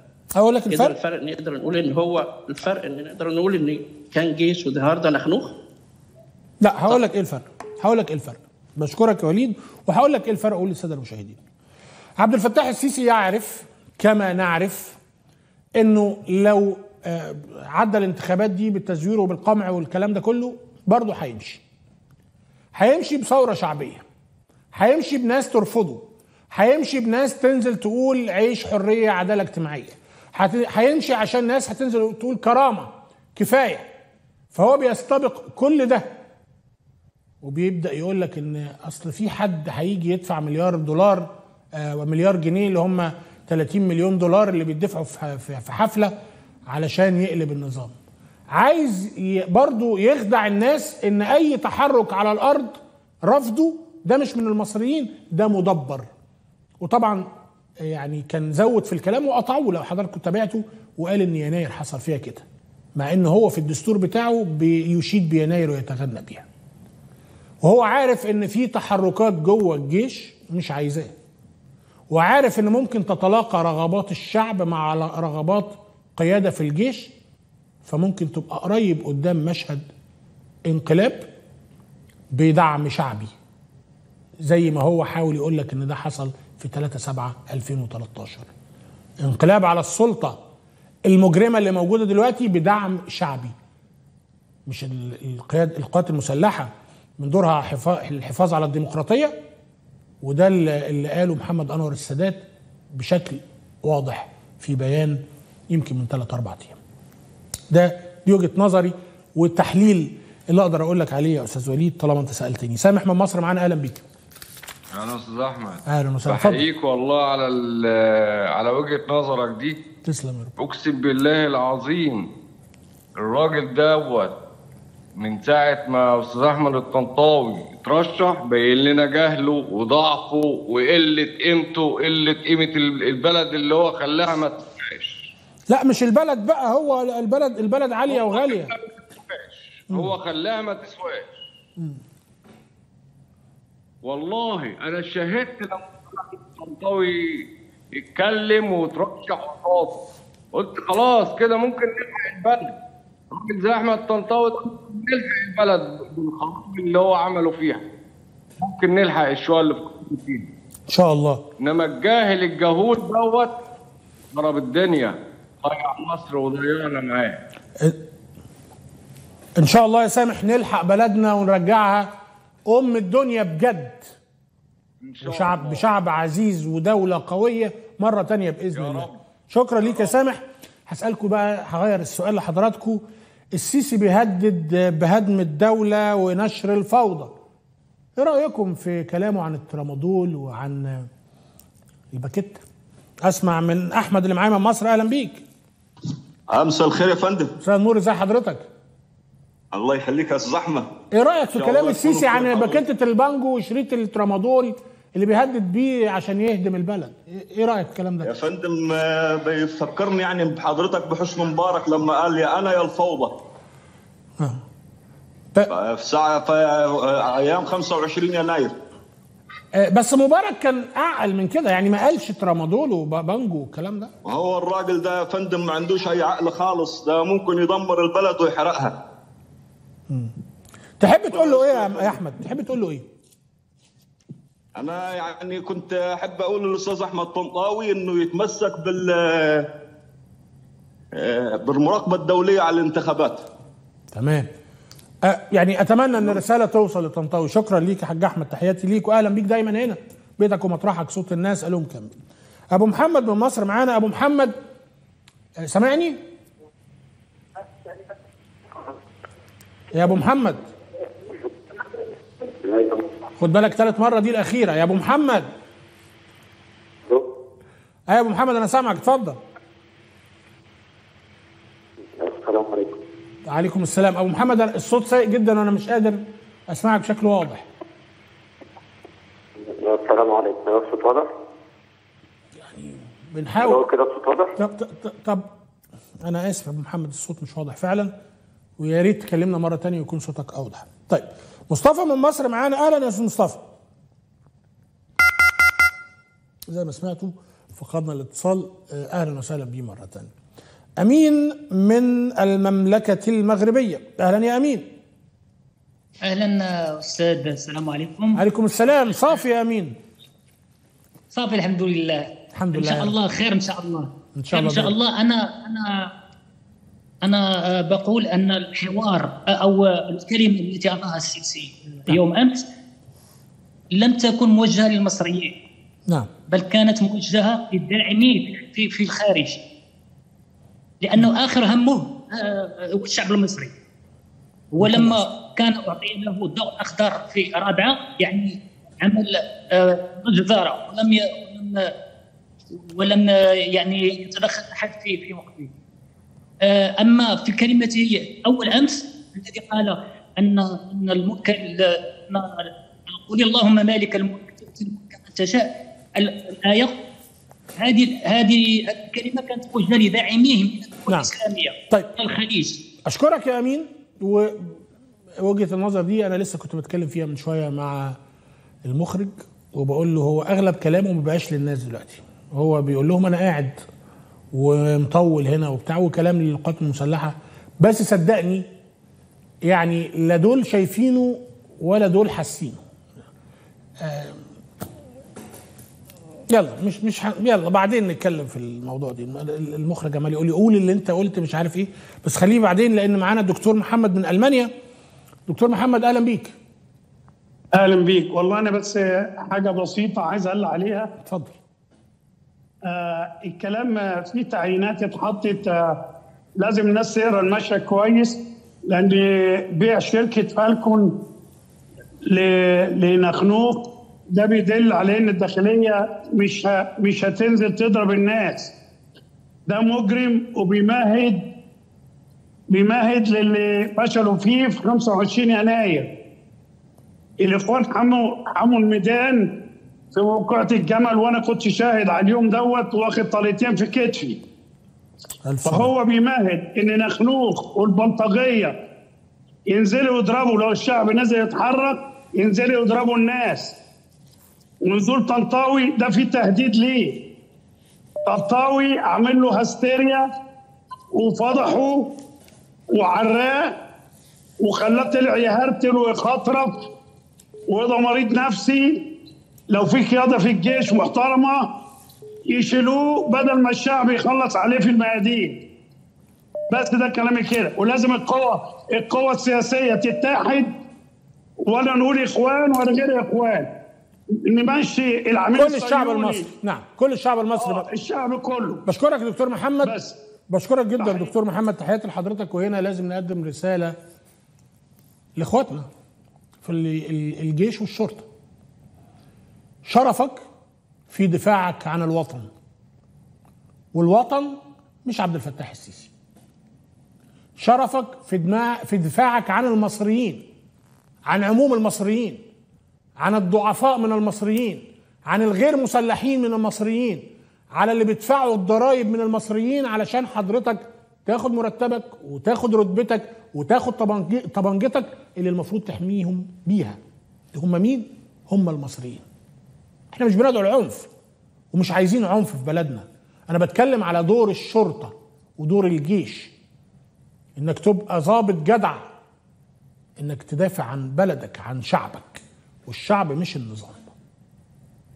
يا قواتنا المسلحة يا شرطتنا المصرية الشعب مش النظام. الشعب هم الناس. والدك ووالدتك وخالك وعمك وجارك وبتاع الفول واللي في الشارع والناس دي والناس دول. دول أهل مصر. وواجبك وواجبك إنك تحميهم. وعيب جدا إن يبقى في Black Bloc يرهبوا المصريين. وعيب جدا يبقى في ميليشيا اسمها فالكون اسمها ميليشيا نخنوخ اسمها حميت اسمها ايا كان ترهب المصريين. شرفك إنك تدافع عن حرية هذا الوطن. والناس بتسامح. والناس تقدر تقول لك عفى الله عما سلف لما تشوف منك موقف يكبرك في عينهم ويكون موازي لأي حاجة ضرتهم بيها. قدامهم خاصة مديريه الأمن يعني. مم. فحصل طبعا ساعة اللمه وساعه الزحمة الناس واقفة تتفرج واللي بيصرخ فوق بيصرخ واللي واقف تحت واقف. واساسا في مديرية الأمن جوه في آه، أمن آه، اللي هو المدني الدفاع المدني. في طفايات حريق في خراطيم مية. ما حدش عمل حاجة ما حدش آه، سابوا الحريقه كده يتفرجوا عليها وقالوا مصر كهربي مصر كهربي ماسك من فوق ولا من تحت ولا من النص. حصل فيه تكاسل. مع عربيه المطاف لما جت ما عملتش حاجة كانت تتفرج فضلوا ساكتين لغاية مديريه الأمن بقت ما هو ده اللي بيخلينا نسأل يا حسن ده اللي بيخلينا نسأل إيه اللي حصل بالظبط؟ أنا طبعا بعزيك وبكرر تعازيه لأهل إسماعيلية وبشكرك يا حسن على المداخلة ام محمود من مصر معايا أهلا بيكي. السلام عليكم. تحياتي لحضراتكم عليكم السلام. أهلا وسهلا. محمود إيه رأيك في كلام السيسي امبارح عن الترامادول والبانجو وهد البلد؟ والله حضرتك هو بتعرفي السيسي هو بيعمل إيه في البلد. ودلوقتي لا وكمان كلم حضرتك امبارح سيبك إن هو يعني هو بيتكلم عن نفسه طبعا في الحاجات دي. من الأول خالص وإحنا عارفين إن هم بتوع رمضان وبتوع وابنه دلوقتي ماسك والعرجاني كان في سينا. فالحمد لله يعني هم شغالين قوي كويس جدا في الموضوع ده. بس حضرتك برضو تفتكر امبارح إن هو قال الفشل وفاشلين وما لهمش مكان. طب دلوقتي حضرتك وزارة الأوقاف ولعت. دلوقتي مديرية أمن العريش ولعت. الحادث اللي حصل في العريش وبعد كده قالوا ده في العاشر ولعت. مديرية أمن الإسماعيلية دلوقتي ولعت. والبقاء لله المتوفين المتوفي وربنا يا رب يعني إيه يصبر المصابين ويقوم بألف آمين. سلام. آه مفيش تأمين. فين فشل طب فين الفاشل وفاشلين تاني حاجة حضرتك بيقول لك الغوا الثورة ما تلغيش الثورة. هو خايف حضرتك من الثورة وإن شاء الله بإذن الله الثورة جاية علشان يتحاسب هو وكل اللي معاه. طنطاوي بقى ومش طنطاوي والناس اللي بتتكلم على طنطاوي. بس يا جماعة بغض النظر عن طنطاوي وهو قال إيه وسلوكه مع الناس. بس طنطاوي عامل حالة كويسة في قلب الشارع. حالة كوي... الناس نزلت الشارع. يعني ان شاء الله كده- كده كويس. يا مسهل يا رب العالمين. نعم. وتبقى أمم بقى تنزل الشارع. كرة كرة التلج. بتزيد وبتكبر كل يوم يا أم إن محمود. شاء الله بإذن الله. دي حاجة كويسة جدا. نعم. وشكرا لحضرتك. شكرا ليك يا فندم. بشكرك جدا. أم محمد من مصر. أهلا بيكي السلام عليكم يا أستاذ أحمد. عليكم السلام ورحمة الله. إزيك يا أم محمد؟ عاملة إيه؟ إزيك أنت يا حبيبي؟ أنت ما جاتش امبارح ليه؟ أنا جيت والله. كنت موجود والله يعني والله كل أه؟ سنة وأنت طيب يا حبيبي. وأنت بخير بقى. أنت اللي ما شفتيش. إيه رأيك في كلام السيسي عن البانجو والترامادول والكلام ده وهد الدولة؟ ما هو ده يا حبيب قلبي ما هو ده أسلوب بلطجية. آه. دي أسلوب بلطجة. أيوه. ها اللي يتلم على نخنوخ واللي يتلم على العرجاني هيبقى بلطجي زيهم. هو بلطجي أصلا يا أستاذ أحمد. ودي أسلوب بلطجي. ترامادول آه وباكيتة آه. دي أسلوب بلطجي. ما يقولهاش إلا بلطجي. دي؟ ما يقولهاش إلا بلطجي يا أستاذ أحمد. اللي رايح يسلم شكة فالكو للخنوخ ربنا ينتقم منه. ربنا ينتقم منه وقف شر أعماله. وهو اللي عمل الولعة بتاعت إسماعيلية دي. هو اللي عاملها ما فيش حد غيره. ربنا ينتقم منه. ربنا ينتقم منه وقف شر أعماله كمان وكمان. آمين يا رب. شكرا يا أم محمد. شكرا. نورتينا. ربنا ي... تسلم يا يخليكوا لينا دايما يا رب. محمد من إسماعيلية معانا. محمد أهلا بيك.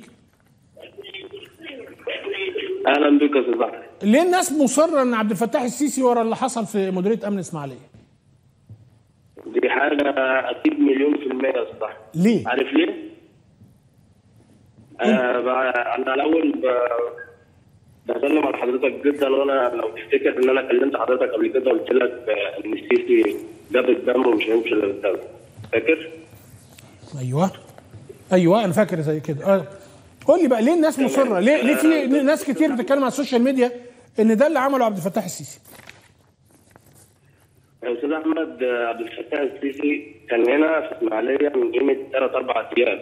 أيوه. تمام؟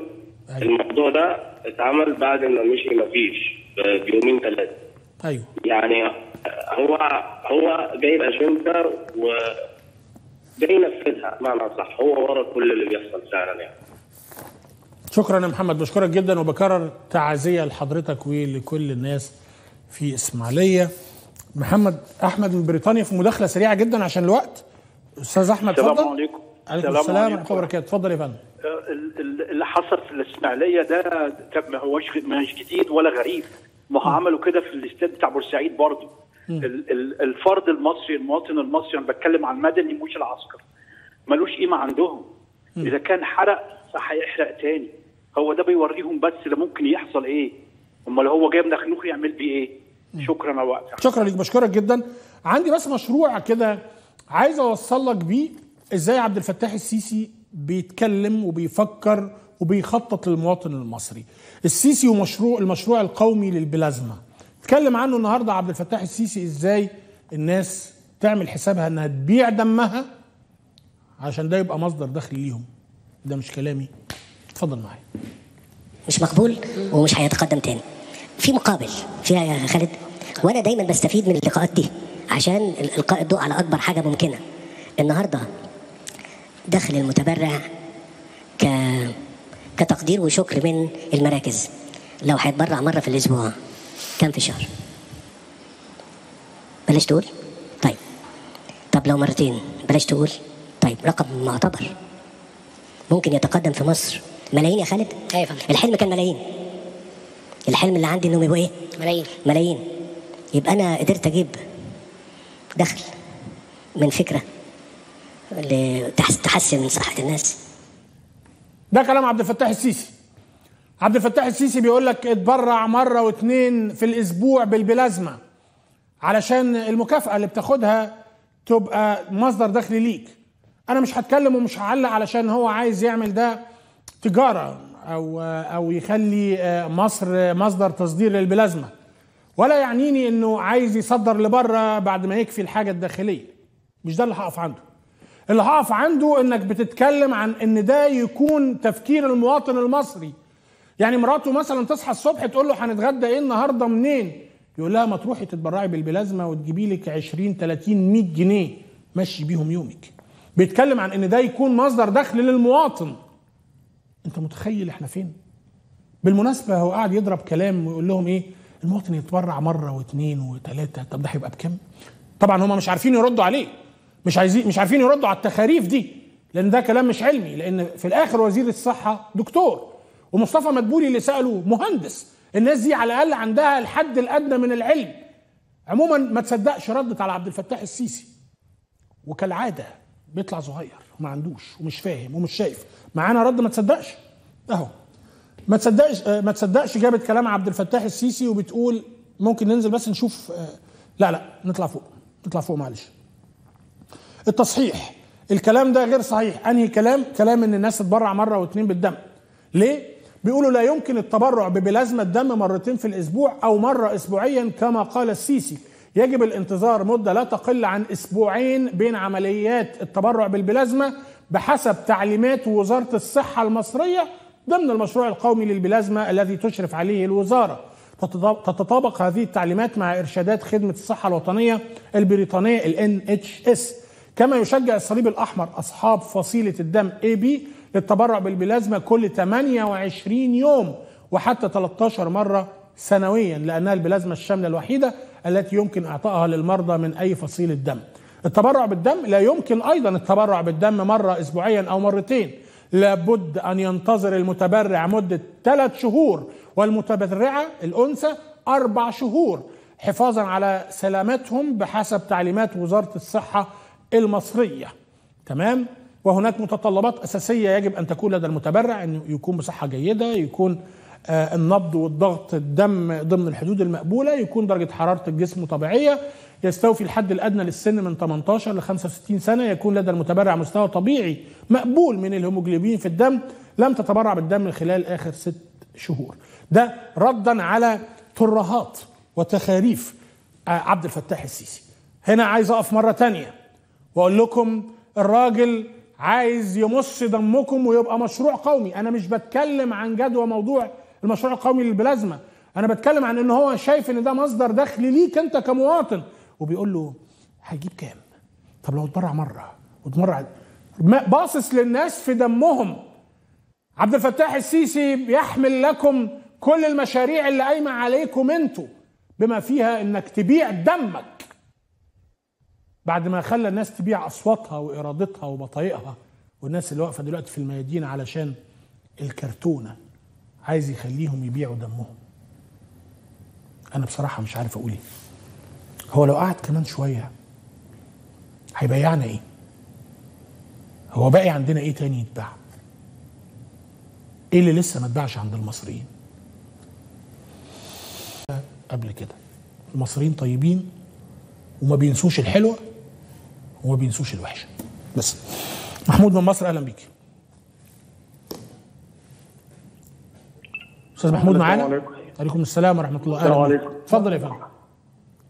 ازي حضرتك يا أستاذ أحمد؟ الله يخليك. محمود آه، باكيت آه، بانجو وشريط ترامادول و1000 جنيه. آه، هذه الخطة لإسقاط الدولة. هو السيسي قصده إيه؟ هو السيسي يا باشا أصلا معروف إن هو يعني هو بلطجي.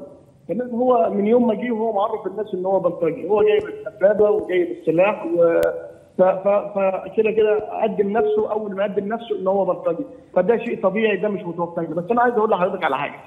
تمام؟ هو أنتوا في الإعلام بتتكلموا وتقولوا البلطجية وهيموت الشعب. أنتوا ناسيين ان الشعب المصري ده يا باشا؟ اللي هو هو اللي طرد العدوان العدوان الثلاثي الشعب المصري ده اللي فشخ إسرائيل. تمام؟ ال- الدول العربية كلها عايشة على حسه. مين هو السي كم بلطجي موجود في مصر يا باشا. 300000 انت بتتكلم في 104 مليون. قول 70 مليون. لا أنا بتكلم أنا بتكلم في حوالي أكتر من يعني 2 مليون بلطجي. أو إيه مسجل؟ خطر أنت عندك قصاد 70 مليون. أنت عارف البلطجي ده يا باشا؟ ده اجبن واحد على وش الأرض. ليه بتخوفوا الناس من البلطجية؟ أنا اتعاملت معاهم. قسما بالله العظيم اجبن ناس على وجه الأرض. ما تخوفوش الناس وبلطجة وبلطجية الناس لا لا لا لا محمود استنى استنى استنى محمود الله يخليك. لا لا لا لا. مين بيخوف الناس؟ ما لا ما أنا بتابع الإعلام بتاع أنا متابع متابع ليكم لا أنا أنا لا لا لا لا. الشعب غلاب إرادة الناس غلابة. مع يا محمود إحنا ما بنخوفش الناس. إحنا إحنا لازم نقول إن في في خطر في ميليشيات بيتم تجهيزها.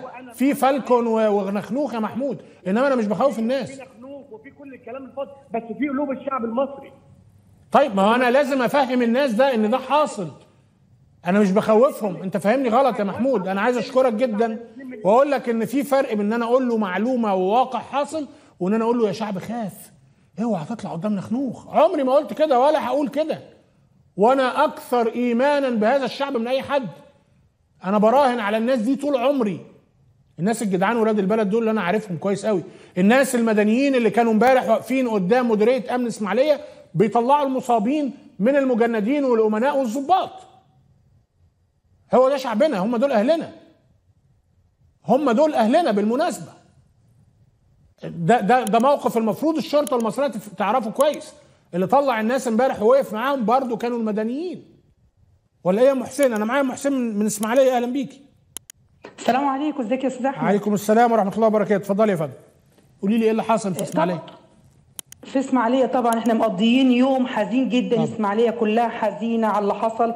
وطبعا كل العالم شاف اللي حصل إسماعيلية لاولادنا وكل كلهم يعني عساكر ولادنا وهو أوعد امبارح وعد إن هو هيخليها خراب. والنهاردة وفى بالوعد بتاعه.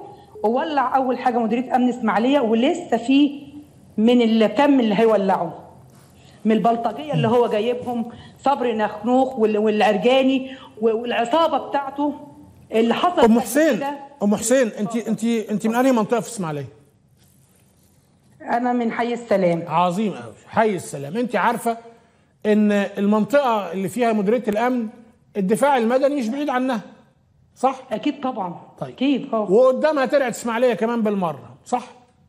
أكيد هل أكيد هل البلد برايك وعارف. هل برايك آه برأيك تم التعامل بسرعة؟ بدأوا يطفوا بسرعة ولا كان في في تباطؤ ولا أنتوا شايفين إيه على أرض الواقع هناك في إسماعيلية؟ يعني الحريق ابتدى من ال- من أذان الفجر آه. خلص الساعة 10 أو لحد بعد الساعة 11 كان لسه في إطفاء. كان تبريد ده اللي متأخر ده تبريد المكان. أيوه آه آه.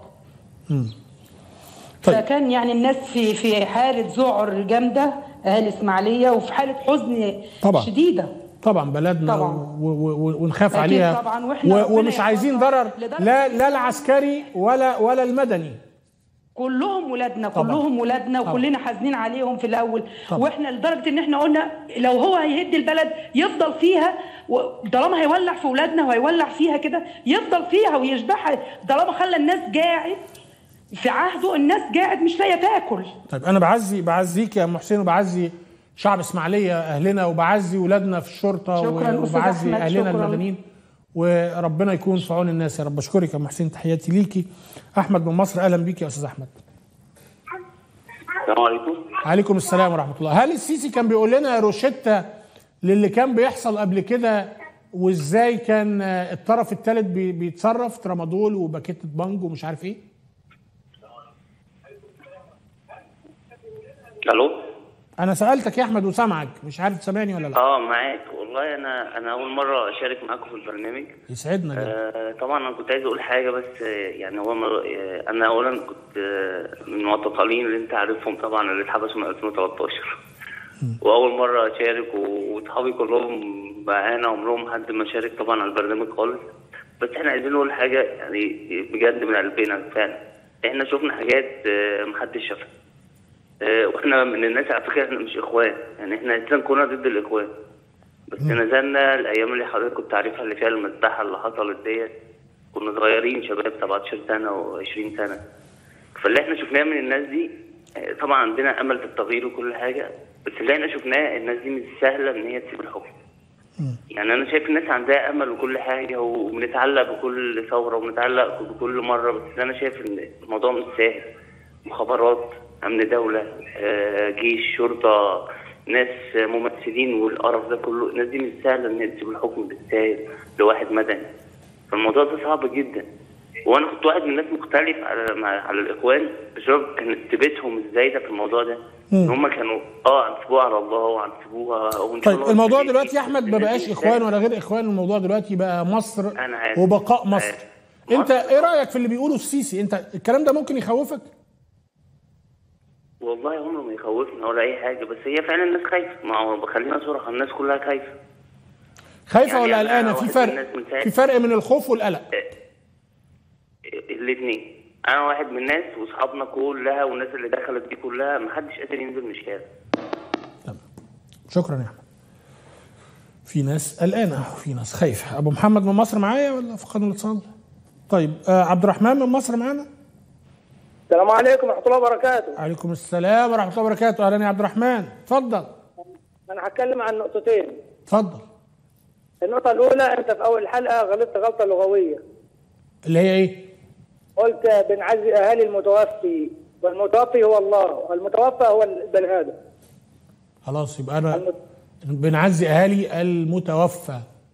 وأشكرك. جدا على التصحيح شكرا ليك وربنا يخليكم لينا كده. يعني تنتقدونا وتصلحوا لنا وده حاجة تسعدني جدا. اتفضل. النقطة الثانية في نقطة ثانية قول لي بقى. النقطة الثانية اللي هي الشيخ الأزهر قاعد جنب السيسي وعمال يسقف. كويس.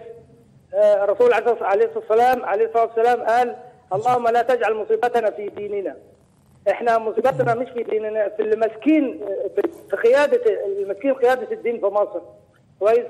شيخ الأزهر أولا خريج السوربون. يعني هل هل إحنا هنتعلم الدين من فرنسا؟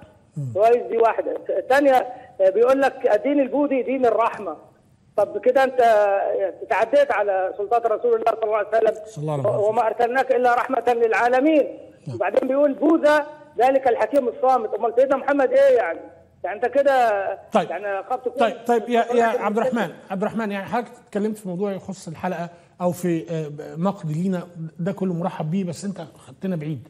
أنا حلقتي مش عن شيخ الأزهر دلوقتي عندنا واجب وقت دلوقتي الانتخابات أنا بشكرك جدا وبحييك واهلا وسهلا بيك دايما. وبشكرك على التصحيح. ولو في نقد أنا بقبل النقد وبقبل التصحيح وربنا يخليكم لينا لأن ده دورنا مع بعض إن إحنا نقوم بعض لل- لل- للأصوب وللأحسن. نروح إسماعيلية مرة تانية. ومعايا حسن من إسماعيلية أهلا بيك. السلام عليكم أحمد. عليكم السلام يا أستاذ حسن. اتفضل يا فندم. آه، وبمناسبة موضوع مديرية الأمن. أيوه يا فندم. معايا؟ أنا سامعك. آه، موضوع مديرية الأمن دوت على فكرة هو الموضوع بدأ الساعة 3 الفجر تقريبا. وكان آه، في طبعا الخدمة اللي موجودة وفي الحرس. معايا حضرتك؟ تمام يا فندم كمل كلامك. وكان في الدفاع المدني اللي هي نقطة المطافي في ظهر مديرية الأمن بالظبط لو قسناها بالمتر كده تعملها بتاع 500 600 متر 700 متر يعني ما يكملش ما يجيش كيلو والمسافة بكلكه يعني مسافة مديرية الأمن من المطافي. الشعب يقول لهم لا أنا 2 مليار وهد البلد ولا هدد البلد ولا أعمل حالة وترمادول وباكيتا و... إيه الفرق؟ أقول لك الفرق. الفرق نقدر نقول إن هو الفرق إن نقدر نقول إن كان جيش والنهارده نخنوخ لا هقول لك إيه الفرق؟ هقول لك إيه الفرق. بشكرك يا وليد. وهقول لك إيه الفرق أقول للسادة المشاهدين. عبد الفتاح السيسي يعرف كما نعرف إنه لو آه، عدى الانتخابات دي بالتزوير وبالقمع والكلام ده كله برضه هيمشي. هيمشي بثورة شعبية. هيمشي بناس ترفضه. هيمشي بناس تنزل تقول عيش حرية عدالة اجتماعية. هيمشي عشان ناس هتنزل تقول كرامة كفاية. فهو بيستبق كل ده. وبيبدأ يقول لك إن أصل في حد هيجي يدفع مليار دولار آه، ومليار جنيه اللي هم 30 مليون دولار اللي بيدفعوا في حفلة علشان يقلب النظام. عايز برضو يخدع الناس إن أي تحرك على الأرض رفضه ده مش من المصريين ده مدبر. وطبعا يعني كان زود في الكلام وقطعه لو حضراتكم تابعته وقال إن يناير حصل فيها كده مع إن هو في الدستور بتاعه بيشيد بيناير ويتغنى بيها. وهو عارف إن في تحركات جوه الجيش مش عايزاه. وعارف إن ممكن تتلاقى رغبات الشعب مع رغبات قيادة في الجيش فممكن تبقى قريب قدام مشهد انقلاب بدعم شعبي. زي ما هو حاول يقول لك إن ده حصل في 3 7 2013 انقلاب على السلطة المجرمة اللي موجودة دلوقتي بدعم شعبي مش ال- القياد القوات المسلحة من دورها حفا- الحفاظ على الديمقراطية وده اللي قاله محمد أنور السادات بشكل واضح في بيان يمكن من ثلاث أربع أيام. ده دي وجهة نظري والتحليل اللي أقدر أقول لك عليه يا أستاذ وليد طالما أنت سألتني. سامح من مصر معانا أهلا بيك. أنا أستاذ أحمد. أهلا وسهلا. بحييك والله على على وجهة نظرك دي. تسلم يا رب. أقسم بالله العظيم الراجل دوت من ساعة ما أستاذ أحمد الطنطاوي اترشح بين لنا جهله وضعفه وقلة قيمته وقلة قيمة ال- البلد اللي هو خلاها ما تبقاش لا مش البلد بقى هو البلد البلد عالية وغالية. هو خلاها ما تسواش والله أنا شاهدت لما الطنطاوي يتكلم وترشح قصاده قلت خلاص كده ممكن نلحق البلد. راجل زي أحمد طنطاوي نلحق البلد بالخراب اللي هو عمله فيها. ممكن نلحق الشويه اللي في فيها. إن شاء الله. إنما الجاهل الجهول دوت ضرب الدنيا. ضيع مصر وضيعنا معاه. إن شاء الله يا سامح نلحق بلدنا ونرجعها. أم الدنيا بجد. وشعب بشعب عزيز ودولة قوية مرة تانية بإذن الله. شكرا ليك يا سامح. هسألكم بقى هغير السؤال لحضراتكم. السيسي بيهدد بهدم الدولة ونشر الفوضى. إيه رأيكم في كلامه عن الترامادول وعن الباكيت؟ أسمع من أحمد اللي معايا من مصر. أهلا بيك. مساء الخير يا فندم. مساء النور ازي حضرتك؟ الله يخليك يا أحمد. إيه رأيك في كلام السيسي عن. باكيتة البانجو وشريط الترامادول اللي بيهدد بيه عشان يهدم البلد؟ إيه إيه رأيك في الكلام ده؟ يا فندم آه، بيفكرني يعني بحضرتك بحسن مبارك لما قال يا أنا يا الفوضى. في ساعه في آه، أيام 25 يناير. آه، بس مبارك كان أعقل من كده يعني ما قالش ترامادول وبانجو والكلام ده. هو الراجل ده يا فندم ما عندوش أي عقل خالص ده ممكن يدمر البلد ويحرقها. تحب تقول له إيه يا أحمد؟ تحب تقول له إيه؟ أنا يعني كنت أحب أقول للأستاذ أحمد طنطاوي إنه يتمسك بال آه، بالمراقبة الدولية على الانتخابات. تمام. أه يعني أتمنى إن الرسالة توصل لطنطاوي. شكرا ليك يا حاج أحمد تحياتي ليك واهلا بيك دايما هنا. بيتك ومطرحك صوت الناس ألوم كمل أبو محمد من مصر معانا. أبو محمد أه، سامعني؟ يا أبو محمد. خد بالك ثالث مرة دي الأخيرة. يا أبو محمد. أيوه يا أبو محمد أنا سامعك. اتفضل. السلام عليكم. عليكم السلام. أبو محمد الصوت سيء جدا. وأنا مش قادر أسمعك بشكل واضح. السلام عليكم. أستاذ واضح؟ بنحاول. لو كده الصوت واضح؟ طب, طب, طب أنا آسف يا أبو محمد. الصوت مش واضح فعلا. ويا ريت تكلمنا مرة تانية ويكون صوتك أوضح. طيب مصطفى من مصر معانا. أهلا يا أستاذ مصطفى. زي ما سمعتوا فقدنا الاتصال. آه، أهلا وسهلا بيه مرة تانية. أمين من المملكة المغربية. أهلا يا أمين. أهلا أستاذ السلام عليكم. عليكم السلام. صافي يا أمين. صافي الحمد لله. الحمد إن شاء لله. الله خير إن شاء الله. إن شاء خير إن الله. شاء. الله. أنا أنا أنا آه، بقول أن الحوار آه، أو الكلمة التي قالها السيسي يوم أمس لم تكن موجهة للمصريين. نعم. بل كانت موجهة للداعمين في في الخارج. لأنه آخر همه آه، هو الشعب المصري. ولما كان أعطي له ضوء أخضر في رابعة يعني عمل جدارة ولم.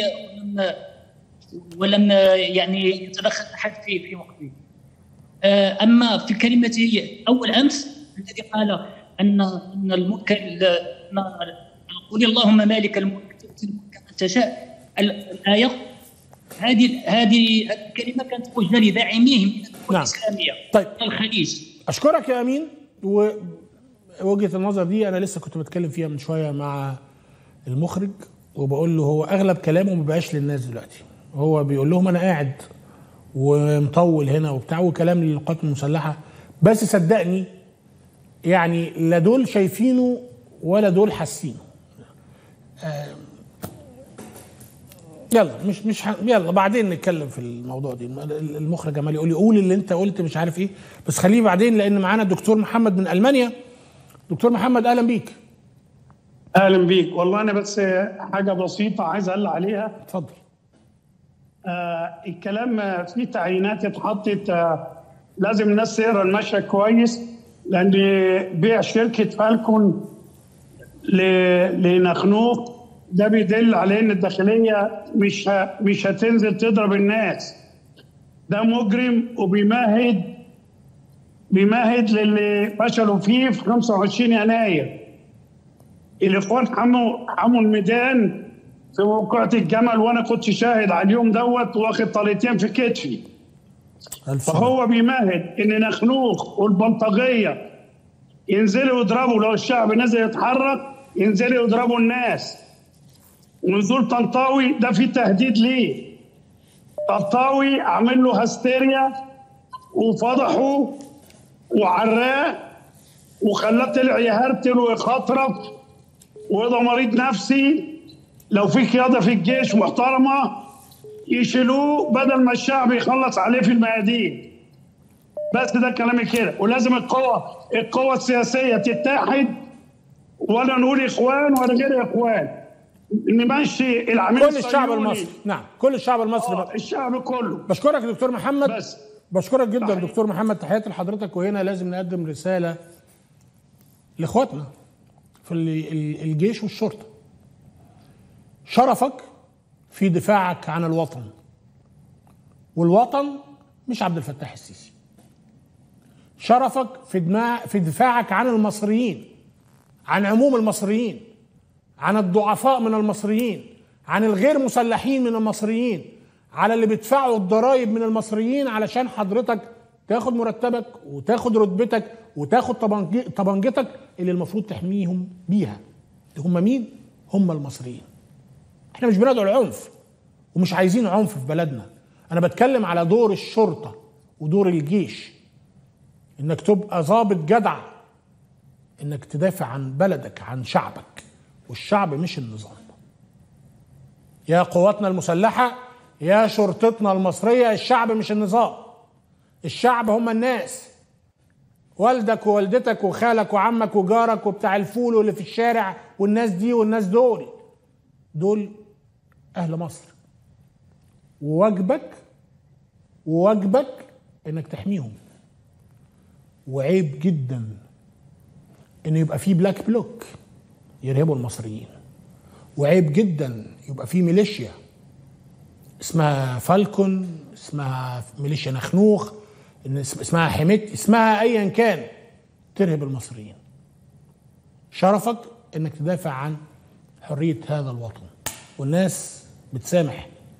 والناس تقدر تقول لك عفى الله عما سلف لما تشوف منك موقف يكبرك في عينهم ويكون موازي لأي حاجة ضرتهم بيها. آه هو دلوقتي قال لك آه، باكيت بانجو و20 جنيه وكده فدي زله لسان وده اللي كان بيعمله في 2013 و2012 واخد بال حضرتك مع البلاك بلوك واخد بالك والطرف الثالث والحاجات المخابراتية والدعم الإماراتي. واخد بال حضرتك بدليل إن دلوقتي ما فيش بانجو و20 جنيه ما تعملش حاجة دلوقتي فهو بيقول على الأسعار القديمة. فربنا قال لك يعني. 20000 تمام يا حسن بشكرك. والموضوع ده هفتحه تاني بس أنا هاخد ه- على جزئين يعني. آه، أحمد من مصر معانا. بشكرك يا حسن الأول. أستاذ أحمد اتفضل. السلام عليكم أستاذ أحمد ازي حضرتك. عليكم السلام ورحمة الله. تسلم يا رب. إيه الفرق بين السيسي والطنطاوي في خطابهم للناس؟ يعني معلش يا أستاذ أحمد هو أنتوا قاعدين للراجل على ذات اللسان أنا الراجل كان قاعد مع عباس كامل بالليل وبلبع شريط تريمادول وطلع الصبح يتكلم كلمتين فبلاش يعمل تقاوى على الكلمتين دول. يا أستاذ أحمد مبلبع شريط تريمادول من بتاع التسريبات يا أستاذ أحمد. يا أستاذ أحمد أنت لو تلاحظ من حوالي سنتين أو ثلاثة كان في سفينة محملة بالتريمادول كان جايبها لواء من الجيش. اترمخت اترمخت يا أستاذ أحمد. دول عصابه مجرمة. ربنا ينتقم منهم. عايز مين بشكرك يا أحمد. شكرا ليك. شكرا ليك. يعني أرجو الاختصار عشان ناخد تعليقات كتير من حضراتكم. أبو أحمد من مصر معانا. إيه الفرق بين عبد الفتاح السيسي وأحمد طنطاوي من وجهة نظرك؟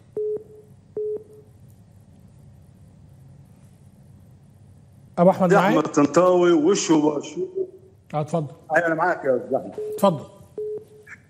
آه، الأستاذ أحمد وشه بشوش ومعاه امه مصريه وابوه مصري يختلف عن المجند. اللي جاي يصوت على الجمهور عليها بتاع الناس اللي هم الفدائيين الناس اللي كانوا بيحاربوا إسرائيل وقتلوا إسرائيل يروح نابش جمهورهم ده عايزة كوبري ده عايزة كوبري ده عايزة كوبري. مفيش إلا الكباري تيجي عند القبور بتاع المسلمين بس ما جاتش عند اليهود. قسما بالله يا أستاذ أحمد البساتين عايزة كوبري من عند ال عايزه كوبري من من عند الجبه من عند شكراً المهم. عايزه عايزه أنا أنا يعني الصوت واضح يا جماعة أنا مش سامع كويس. طيب أنا أنا عموما لما حد بيتصل يا جماعة عشان نبقى متفقين آه، بختصر مع اللي أنا مش سامعه كويس لأن لازم أكون سامع حضرتك بتقول إيه علشان ما ينفعش نمرر أي رسالة كده. فرجاء نكون في مكان فيه شبكة كويسة.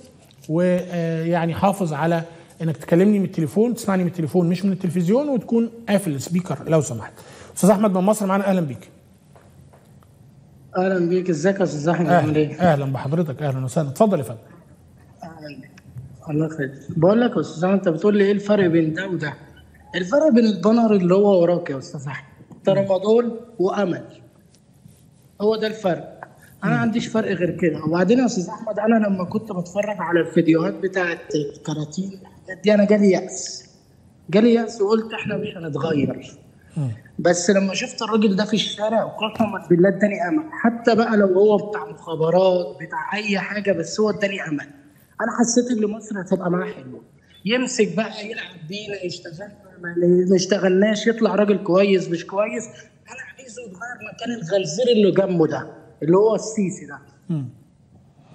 تمام يا أبو حميد أنا أنا بشكرك جدا. يعني لسه في أمل والناس تقدر تغير. آه، أستاذ سامي من أمريكا تعليق حضرتك إيه على طريقة طرح عبد الفتاح السيسي وكلامه مع الناس وطريقة طرح وكلام أحمد طنطاوي مع المواطنين المصريين؟ اتفضل يا فندم. مساء الخير. مساء النور يا فندم. هو اولا آه، يعني ممكن اتكلم على موضوع حريق المبنى ده اي في اي الأول. اتفضل. اتفضل يا فندم. آه هو الحريق ده له هدفين. الهدف الأولاني إن هو يلبسها للإخوان والناس اللي هم بيعارضوه. والهدف الثاني إن هو بتوع الإمارات أنا حضرتك قلت إنها في إنها في مكان استراتيجي يعني مكان كويس يعني. فتلاقي بتوع الإمارات قالوا له إن ده مكان كويس فعايزين يستثمروا فيه زي ما عايزين دلوقتي ياخدوا وزارة الحربية آه سوري الكلية الحربية. أنت عارف عايزين ياخدوا مكان كليه الكليه الحربية ويستثمروا فيه. آه. يعني مسخرة لما ألاقي والله الحبتور بيقول للمصريين آه، شيلوا ال- الكلية الحربية من هنا عشان عايزين انقلوها عشان إحنا عايزين نستثمر هنا ده إيه ده؟ ممكن يكون نفس العملية ممكن يكون بس هو ما قدرش يشيل مديرية الأمن فكل عملية نروح حرقها بعد كده خلاص بقت جاهزة لل- للجماعة اللي هم عايزين ياخدوها. ده متهيألي وجهة نظري الحاجة الثانية إن هو بالنسبة إن على فكرة الناس بتأيد آه، طنطاوي ليس حبا في طنطاوي ده علشان هم كرها في السيسي هو السيسي محدش قبله صدقني بقول لك لكن هو يعني اللي قدامهم حاليا هو طنطاوي. فعشان كده الناس بت- بتجري. لكن أنا بصراحة آه يعني هو يعتبر أحسن الموجودين حاليا. إحنا مش عارفين إيه عموما. أستاذ سامي خل... خليني أقول لحضرتك إن الأيام اللي جاية ربما يكون في مرشحين آخرين لا طنطاوي ما ولا يمامة ولا الناس دي. ويكون في ناس مختلفة. ده مش تقليل من حد حاجة عايز أقولها كمان. طيب سريعا لأن في منتصرين آخرين يا فندم. لا هو على طول. لا أنا حتى في حاجة عايز أقولها بس مش عايز أقولها على الهوا على طول.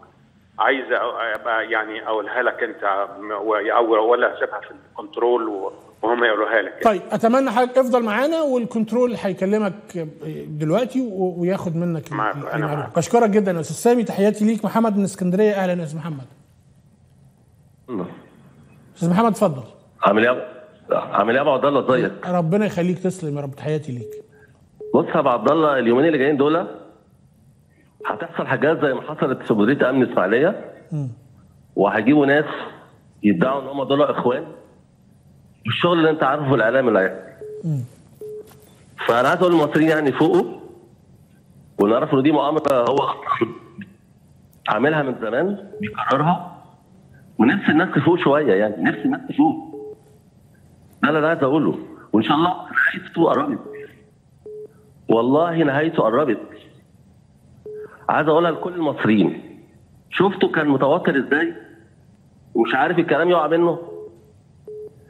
فدي رسالة الحمد لله إن إحنا في الطريق صح. وإن شاء الله نهايته على ايدينا بإذن الله. شكرا يا محمد. أم طارق من مصر معايا؟ أم طارق اتفضلي. ام طارق معايا؟ أيوه أستاذ أحمد. أهلا يا ام طارق أيوه. معاك. أهلاً. ازي حضرتك عامل إيه؟ تسلمي يا رب. طبعا طبعا طبعا في فرق بين أحمد طنطاوي والعميل الصهيوني ده. وبعدين ده عباس تمر- ترمادور اللي بيقولوا عليه أنا ما أعرفش أسامي المخدرات اللي بيقولوا عليها دي. أيوه. هو يا أستاذ أحمد أنتوا كنتوا جايبين التسريبات بتاعه آه، عباس كامل مع صحيح. مع السيسي لما بيتكلموا ويقول لك ترامادول. فاحنا دوم اول ما مسك البلد هو دي عصابة. دي هم كانوا عصابة. بيتكلموا بطريقة اللي هم بتوع المخدرات ومش مش طريقة ناس محترمة. فاحمد طنطاوي راجل محترم بصراحة إحنا ما شفناش حاجة منه وحشة. بس وإن شاء الله إن شاء الله هننزل ونأيده باذنك إن شاء الله يا شاء بشكرك. شكرا ليكي. تحياتي لحضرتك. أم محمد من مصر معانا. أهلا بيكي. أهلا بحضرتك. إزيك يا أستاذ أحمد؟ أهلا وسهلا بيك يا فندم. آه، إيه الفرق من وجهة نظرك بين طرح عبد الفتاح السيسي اللي بيطرحه للناس وانه بيديهم قفاهم بقى كده وهو قاعد ويتكلم وأحمد طنطاوي اللي واقف في وسط الناس وبيتكلم؟ بص يا أستاذ أحمد أنا بس عايزة اسرد حاجة من خلال قنواتكم دي إن أنا عايزة أقول بس الطنطاوي يعني هو راجل كويس وراجل زي الفل بس ما يمشيش على ال- اللي هو إيه قلت يبص رأس الستات والكلام اللي هو بيعمله ده عشان ده جزء من اللي بيعمله السيسي. ودي برضه معظم الناس بيعلقوا على الحتة دي. دي حاجة. الحاجة الثانية أستاذ أحمد إيه أنت عارف إن إحنا قاعدين والطيارات عمالة فوقينا بطريقة رهيبة. صوت بص يطرش بيعمل عملية رعب للناس. الطيارات علينا ماشية من فوق يعني عامل حاجات عملية سعر للشعب. حاجة تانية هو يعني الشرطة مش شايفة إن هو ابتدى يولع في في المديريات والحاجات دي؟ يعني هو بيموت فيهم يعني هيموت الشعب. والشرطة دي مش جزء من الشعب. مش شايفين الغلا والكوى ده إنسان مجرم مجرم بطبعه. والشعب أساسا اللي بيرقصوا دول حسبنا الله ونعم الوكيل فيهم. حسبنا الله ونعم الوكيل فيهم. خلي الشعب بقيت الشعب يحاسب على اللي هم بيعملوه ده. وشكرا يا أستاذ أحمد. شكرا يا محمد. بشكر حضرتك جدا. أهلا بيكي دايما. وليد من مصر معانا. أهلا يا أستاذ وليد. السلام عليكم. عليكم السلام ورحمة الله. إيه الفرق من وجهة نظرك بين أسلوب أحمد طنطاوي وبين أسلوب عبد الفتاح السيسي؟ فرق ان فرق بين الأمل والترامادول زي ما حضراتكم كاتبين بين العقل والهرتلة والهطل. يعني ممكن نقول خلاص إن كل إناء ينضح بما فيه.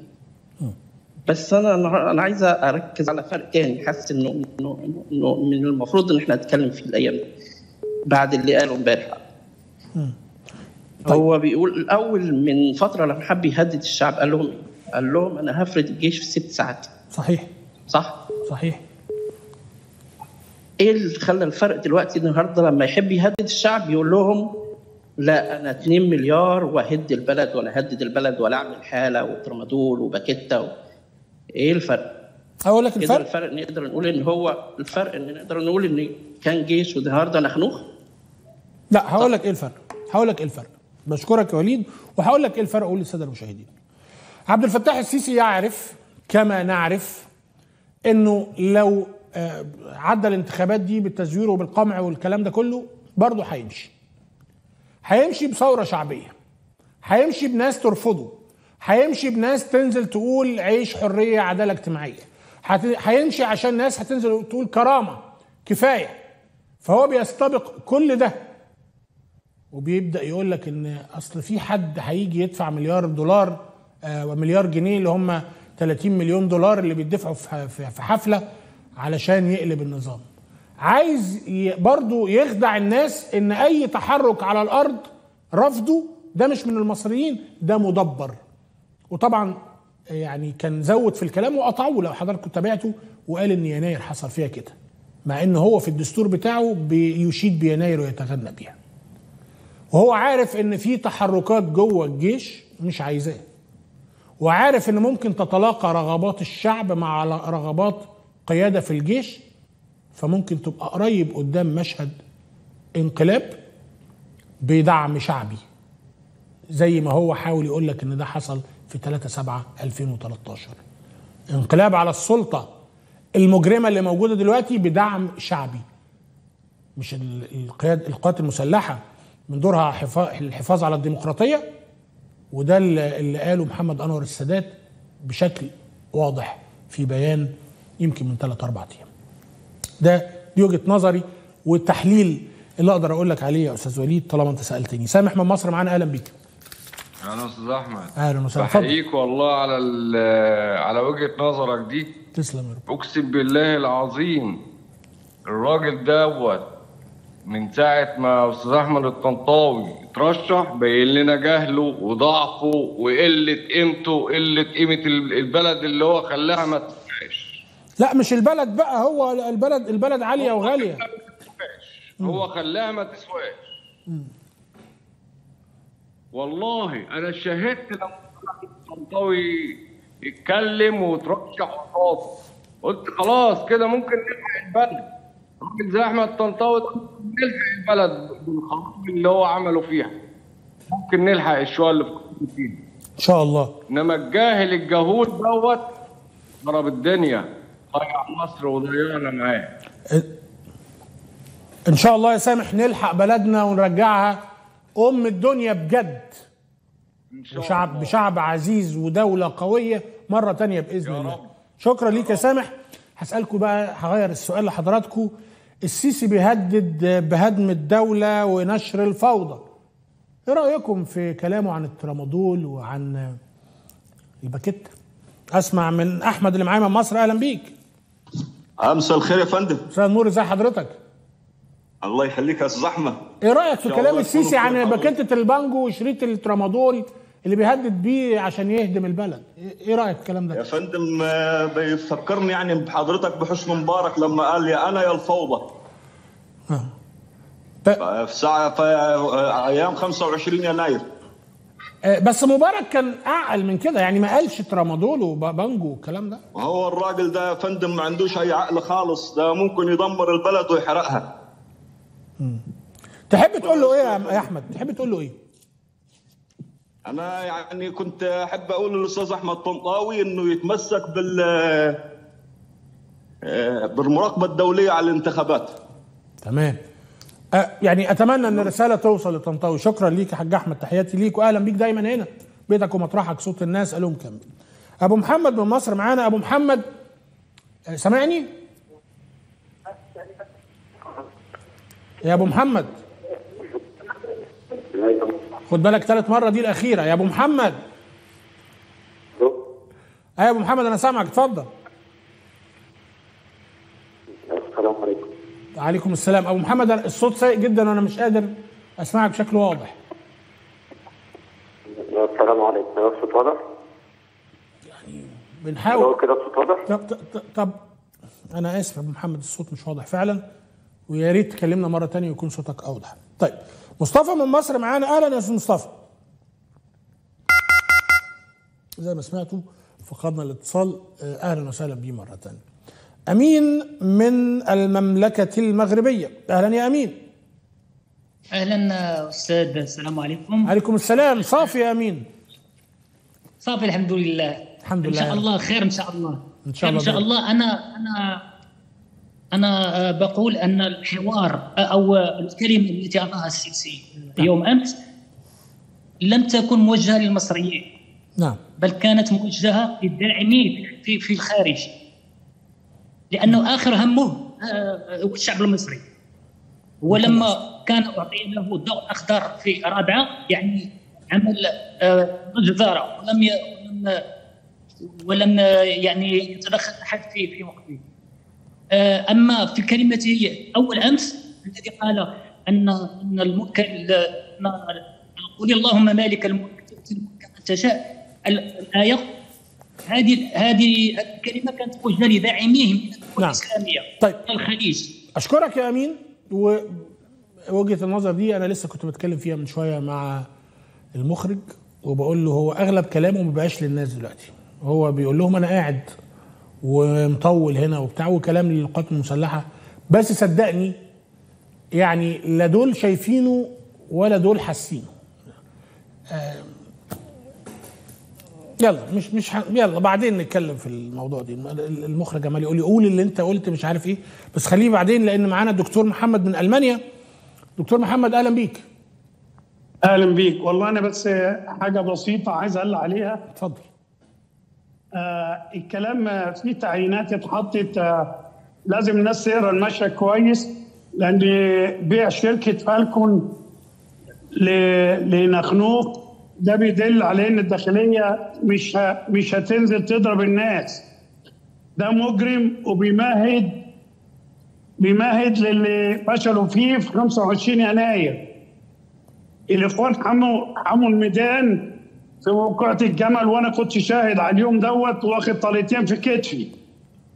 فهو بيمهد إن نخنوخ والبلطجية ينزلوا يضربوا لو الشعب نزل يتحرك ينزلوا يضربوا الناس. ونزول طنطاوي ده في تهديد ليه. طنطاوي عامل له هستيريا وفضحه وعراه وخلاه طلع يهرتل ويخطرف وده مريض نفسي لو في قياده في الجيش محترمة يشيلوه بدل ما الشعب يخلص عليه في الميادين. بس ده كلامي كده. ولازم القوة القوة السياسية تتحد. ولا نقول إخوان ولا غير إخوان. نمشي العميل كل الشعب. المصري. نعم كل الشعب المصري. آه، الشعب كله. بشكرك دكتور محمد. بس. بشكرك جدا دكتور محمد. تحياتي لحضرتك وهنا لازم نقدم رسالة لإخواتنا في ال- ال- الجيش والشرطة. شرفك في دفاعك عن الوطن. والوطن مش عبد الفتاح السيسي. شرفك في دماء في دفاعك عن المصريين عن عموم المصريين.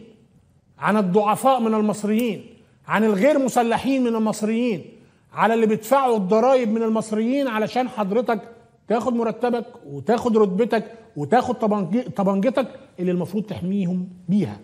هم مين؟ هم المصريين. إحنا مش بندعو العنف ومش عايزين عنف في بلدنا.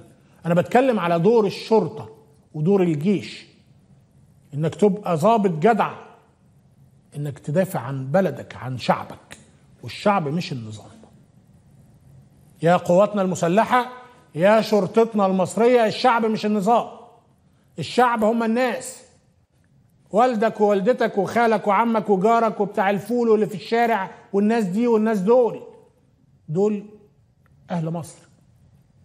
وواجبك وواجبك إنك تحميهم. وعيب جدا إن يبقى في بلاك بلوك يرهبوا المصريين.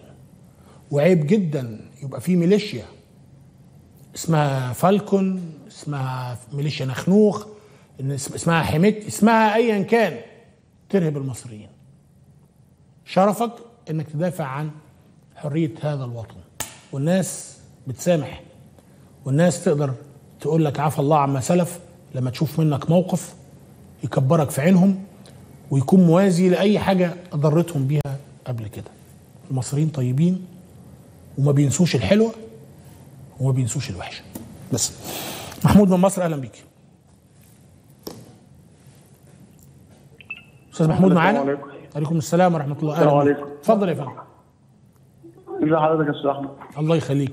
محمود آه، باكيت آه، بانجو وشريط ترامادول و1000 جنيه.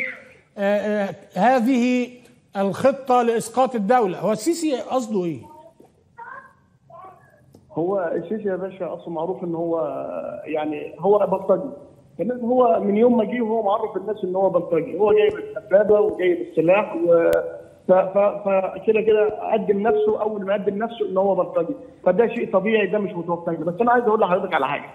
تمام؟ هو أنتوا في الإعلام بتتكلموا وتقولوا البلطج- البلطجية وهيموت الشعب. أنتوا ناسيين ان الشعب المصري ده يا باشا؟ اللي هو هو اللي طرد العدوان العدوان الثلاثي. الشعب المصري ده اللي فشخ إسرائيل. تمام؟ ال- الدول العربية كلها عايشة على حسه. مين هو السي كم بلطجي موجود موجود في مصر يا باشا. 300000 انت بتتكلم في 104 مليون. قول 70 مليون.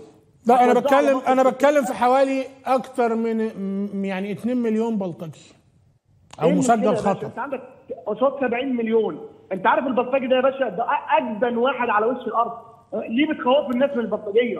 أنا اتعاملت معاهم. قسما بالله العظيم اجبن ناس على وجه الأرض. ما تخوفوش الناس وبلطجة وبلطجية الناس لا لا لا لا محمود استنى استنى استنى محمود الله يخليك. لا لا لا لا. مين بيخوف الناس؟ ما لا ما أنا بتابع الإعلام بتاع أنا متابع متابع ليكم لا أنا أنا لا لا لا لا. الشعب غلاب إرادة الناس غلابة. مع يا محمود إحنا ما بنخوفش الناس. إحنا إحنا لازم نقول إن في في خطر في ميليشيات بيتم تجهيزها. في فالكون ونخنوخ يا محمود. إنما أنا مش بخوف الناس. مخنوق وفي كل الكلام الفاضي بس في قلوب الشعب المصري. طيب ما هو أنا لازم أفهم الناس ده إن ده حاصل.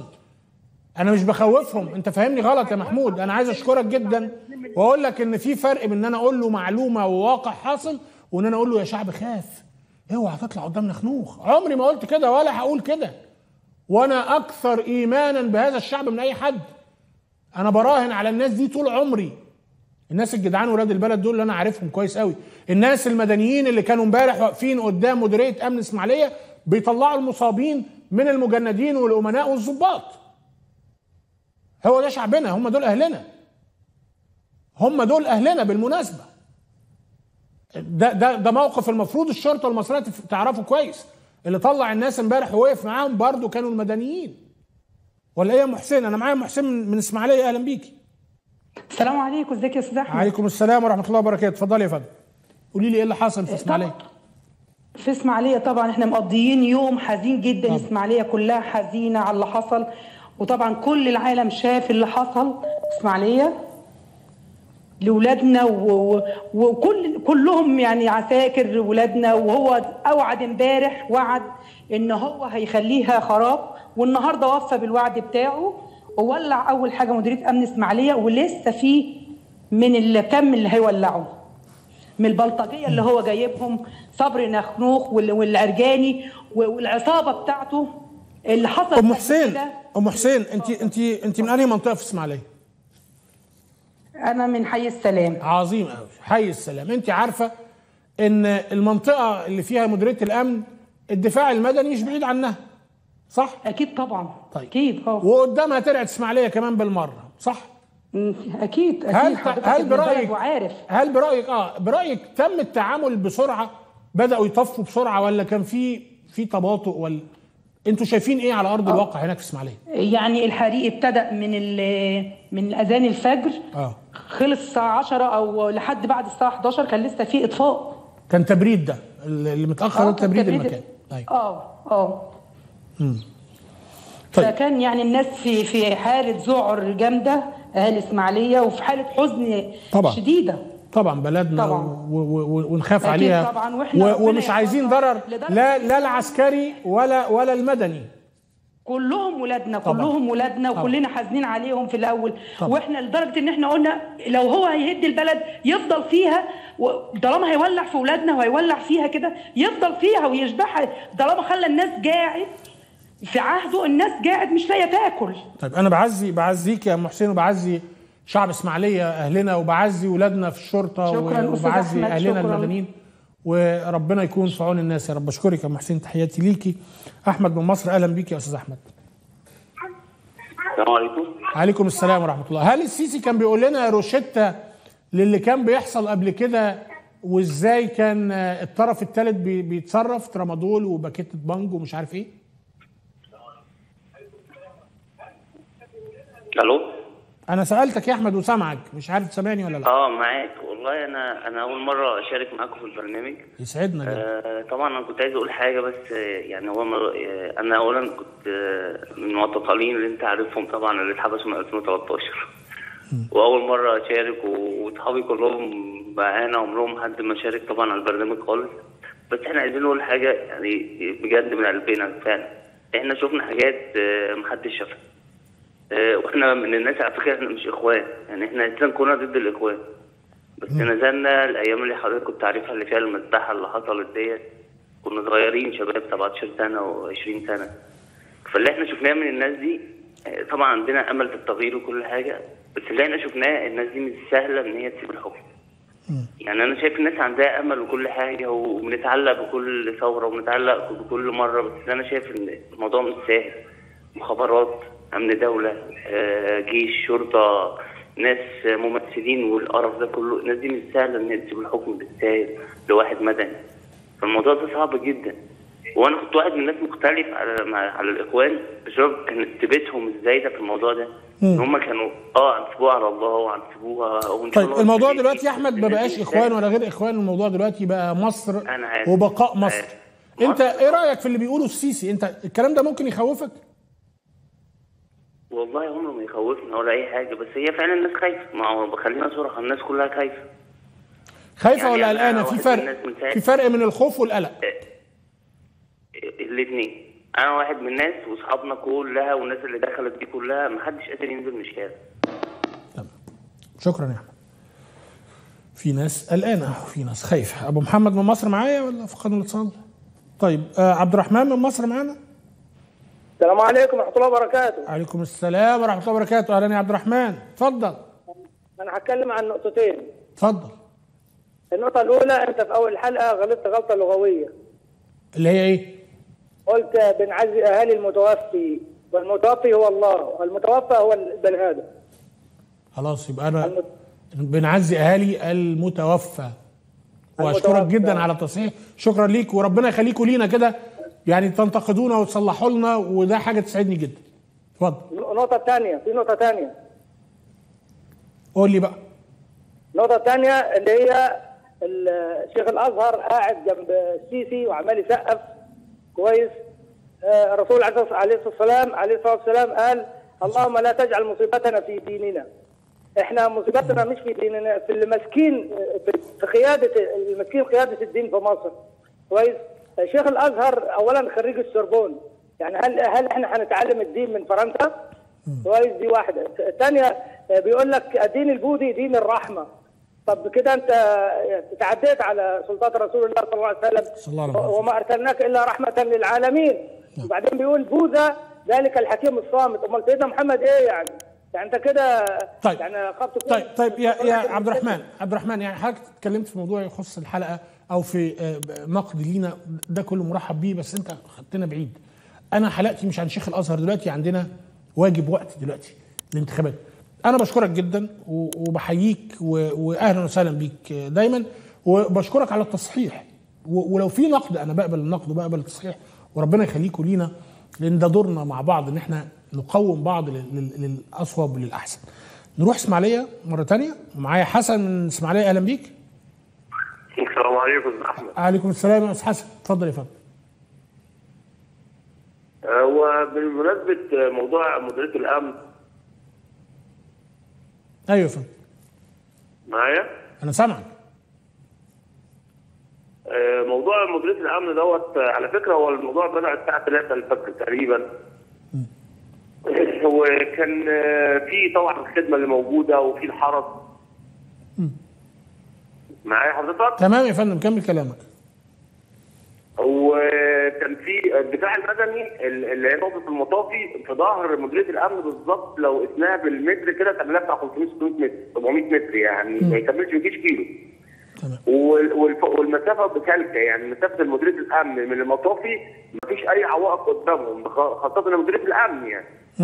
فحصل طبعا ساعة اللمه وساعة الزحمة مدي- أو الناس واقفة تتفرج واللي بيصرخ فوق بيصرخ واللي واقف تحت واقف. واساسا في مديرية الأمن جوه في آه، أمن آه، اللي هو المدني الدفاع المدني. في طفايات حريق في خراطيم مية. ما حدش عمل حاجة ما حدش اتدخل. آه، سابوا الحريقه كده يتفرجوا عليها وقالوا مصر كهربي. مصر كهربي ماسك من فوق ولا من تحت ولا من النص. حصل فيه تكاسل. عربيه المطاف لما جت ما عملتش حاجة. كانت واقفه فضلوا ساكتين لغاية مديريه الامن بقت حتة ما هو ده اللي بيخلينا نسأل يا حسن ده اللي بيخلينا نسأل إيه اللي حصل بالظبط. أنا طبعا بعزيك وبكرر تعازيه لأهل إسماعيلية وبشكرك يا حسن على المداخلة. أم محمود من مصر معايا أهلا بيكي.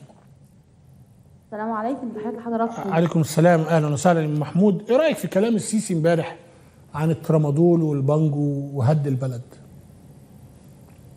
والله حضرتك هو بتعرفي السيسي هو بيعمل إيه في البلد. ودلوقتي لا وكمان كلم حضرتك امبارح سيبك إن هو يعني هو بيتكلم عن نفسه طبعا في الحاجات دي. من الأول خالص وإحنا عارفين إن هم بتوع رمضان وبتوع وابنه دلوقتي ماسك والعرجاني كان في سينا. فالحمد لله يعني هم شغالين قوي كويس جدا في الموضوع ده. بس حضرتك برضو تفتكر امبارح إن هو قال الفشل وفاشلين وما لهمش مكان. طب دلوقتي حضرتك وزارة الأوقاف ولعت. دلوقتي مديرية أمن العريش ولعت.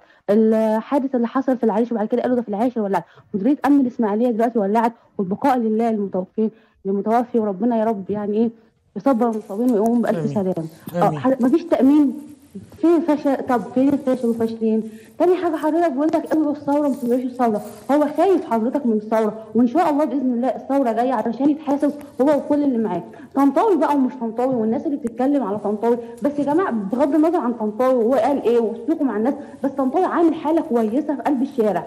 حالة كوي... الناس نزلت الشارع. يعني ان شاء الله كده- كده كويس يا مسهل يا رب العالمين. نعم. وتبقى أمم بقى تنزل الشارع. إن بإذن التلج الله. بتزيد وبتكبر كل يوم يا أم إن محمود شاء الله بإذن الله. دي حاجة كويسة جدا. نعم. وشكرا لحضرتك. شكرا ليك يا فندم. بشكرك جدا. أم محمد من مصر أهلا بيكي السلام عليكم يا أستاذ أحمد. عليكم السلام ورحمة الله. إزيك يا أم محمد؟ عاملة إيه؟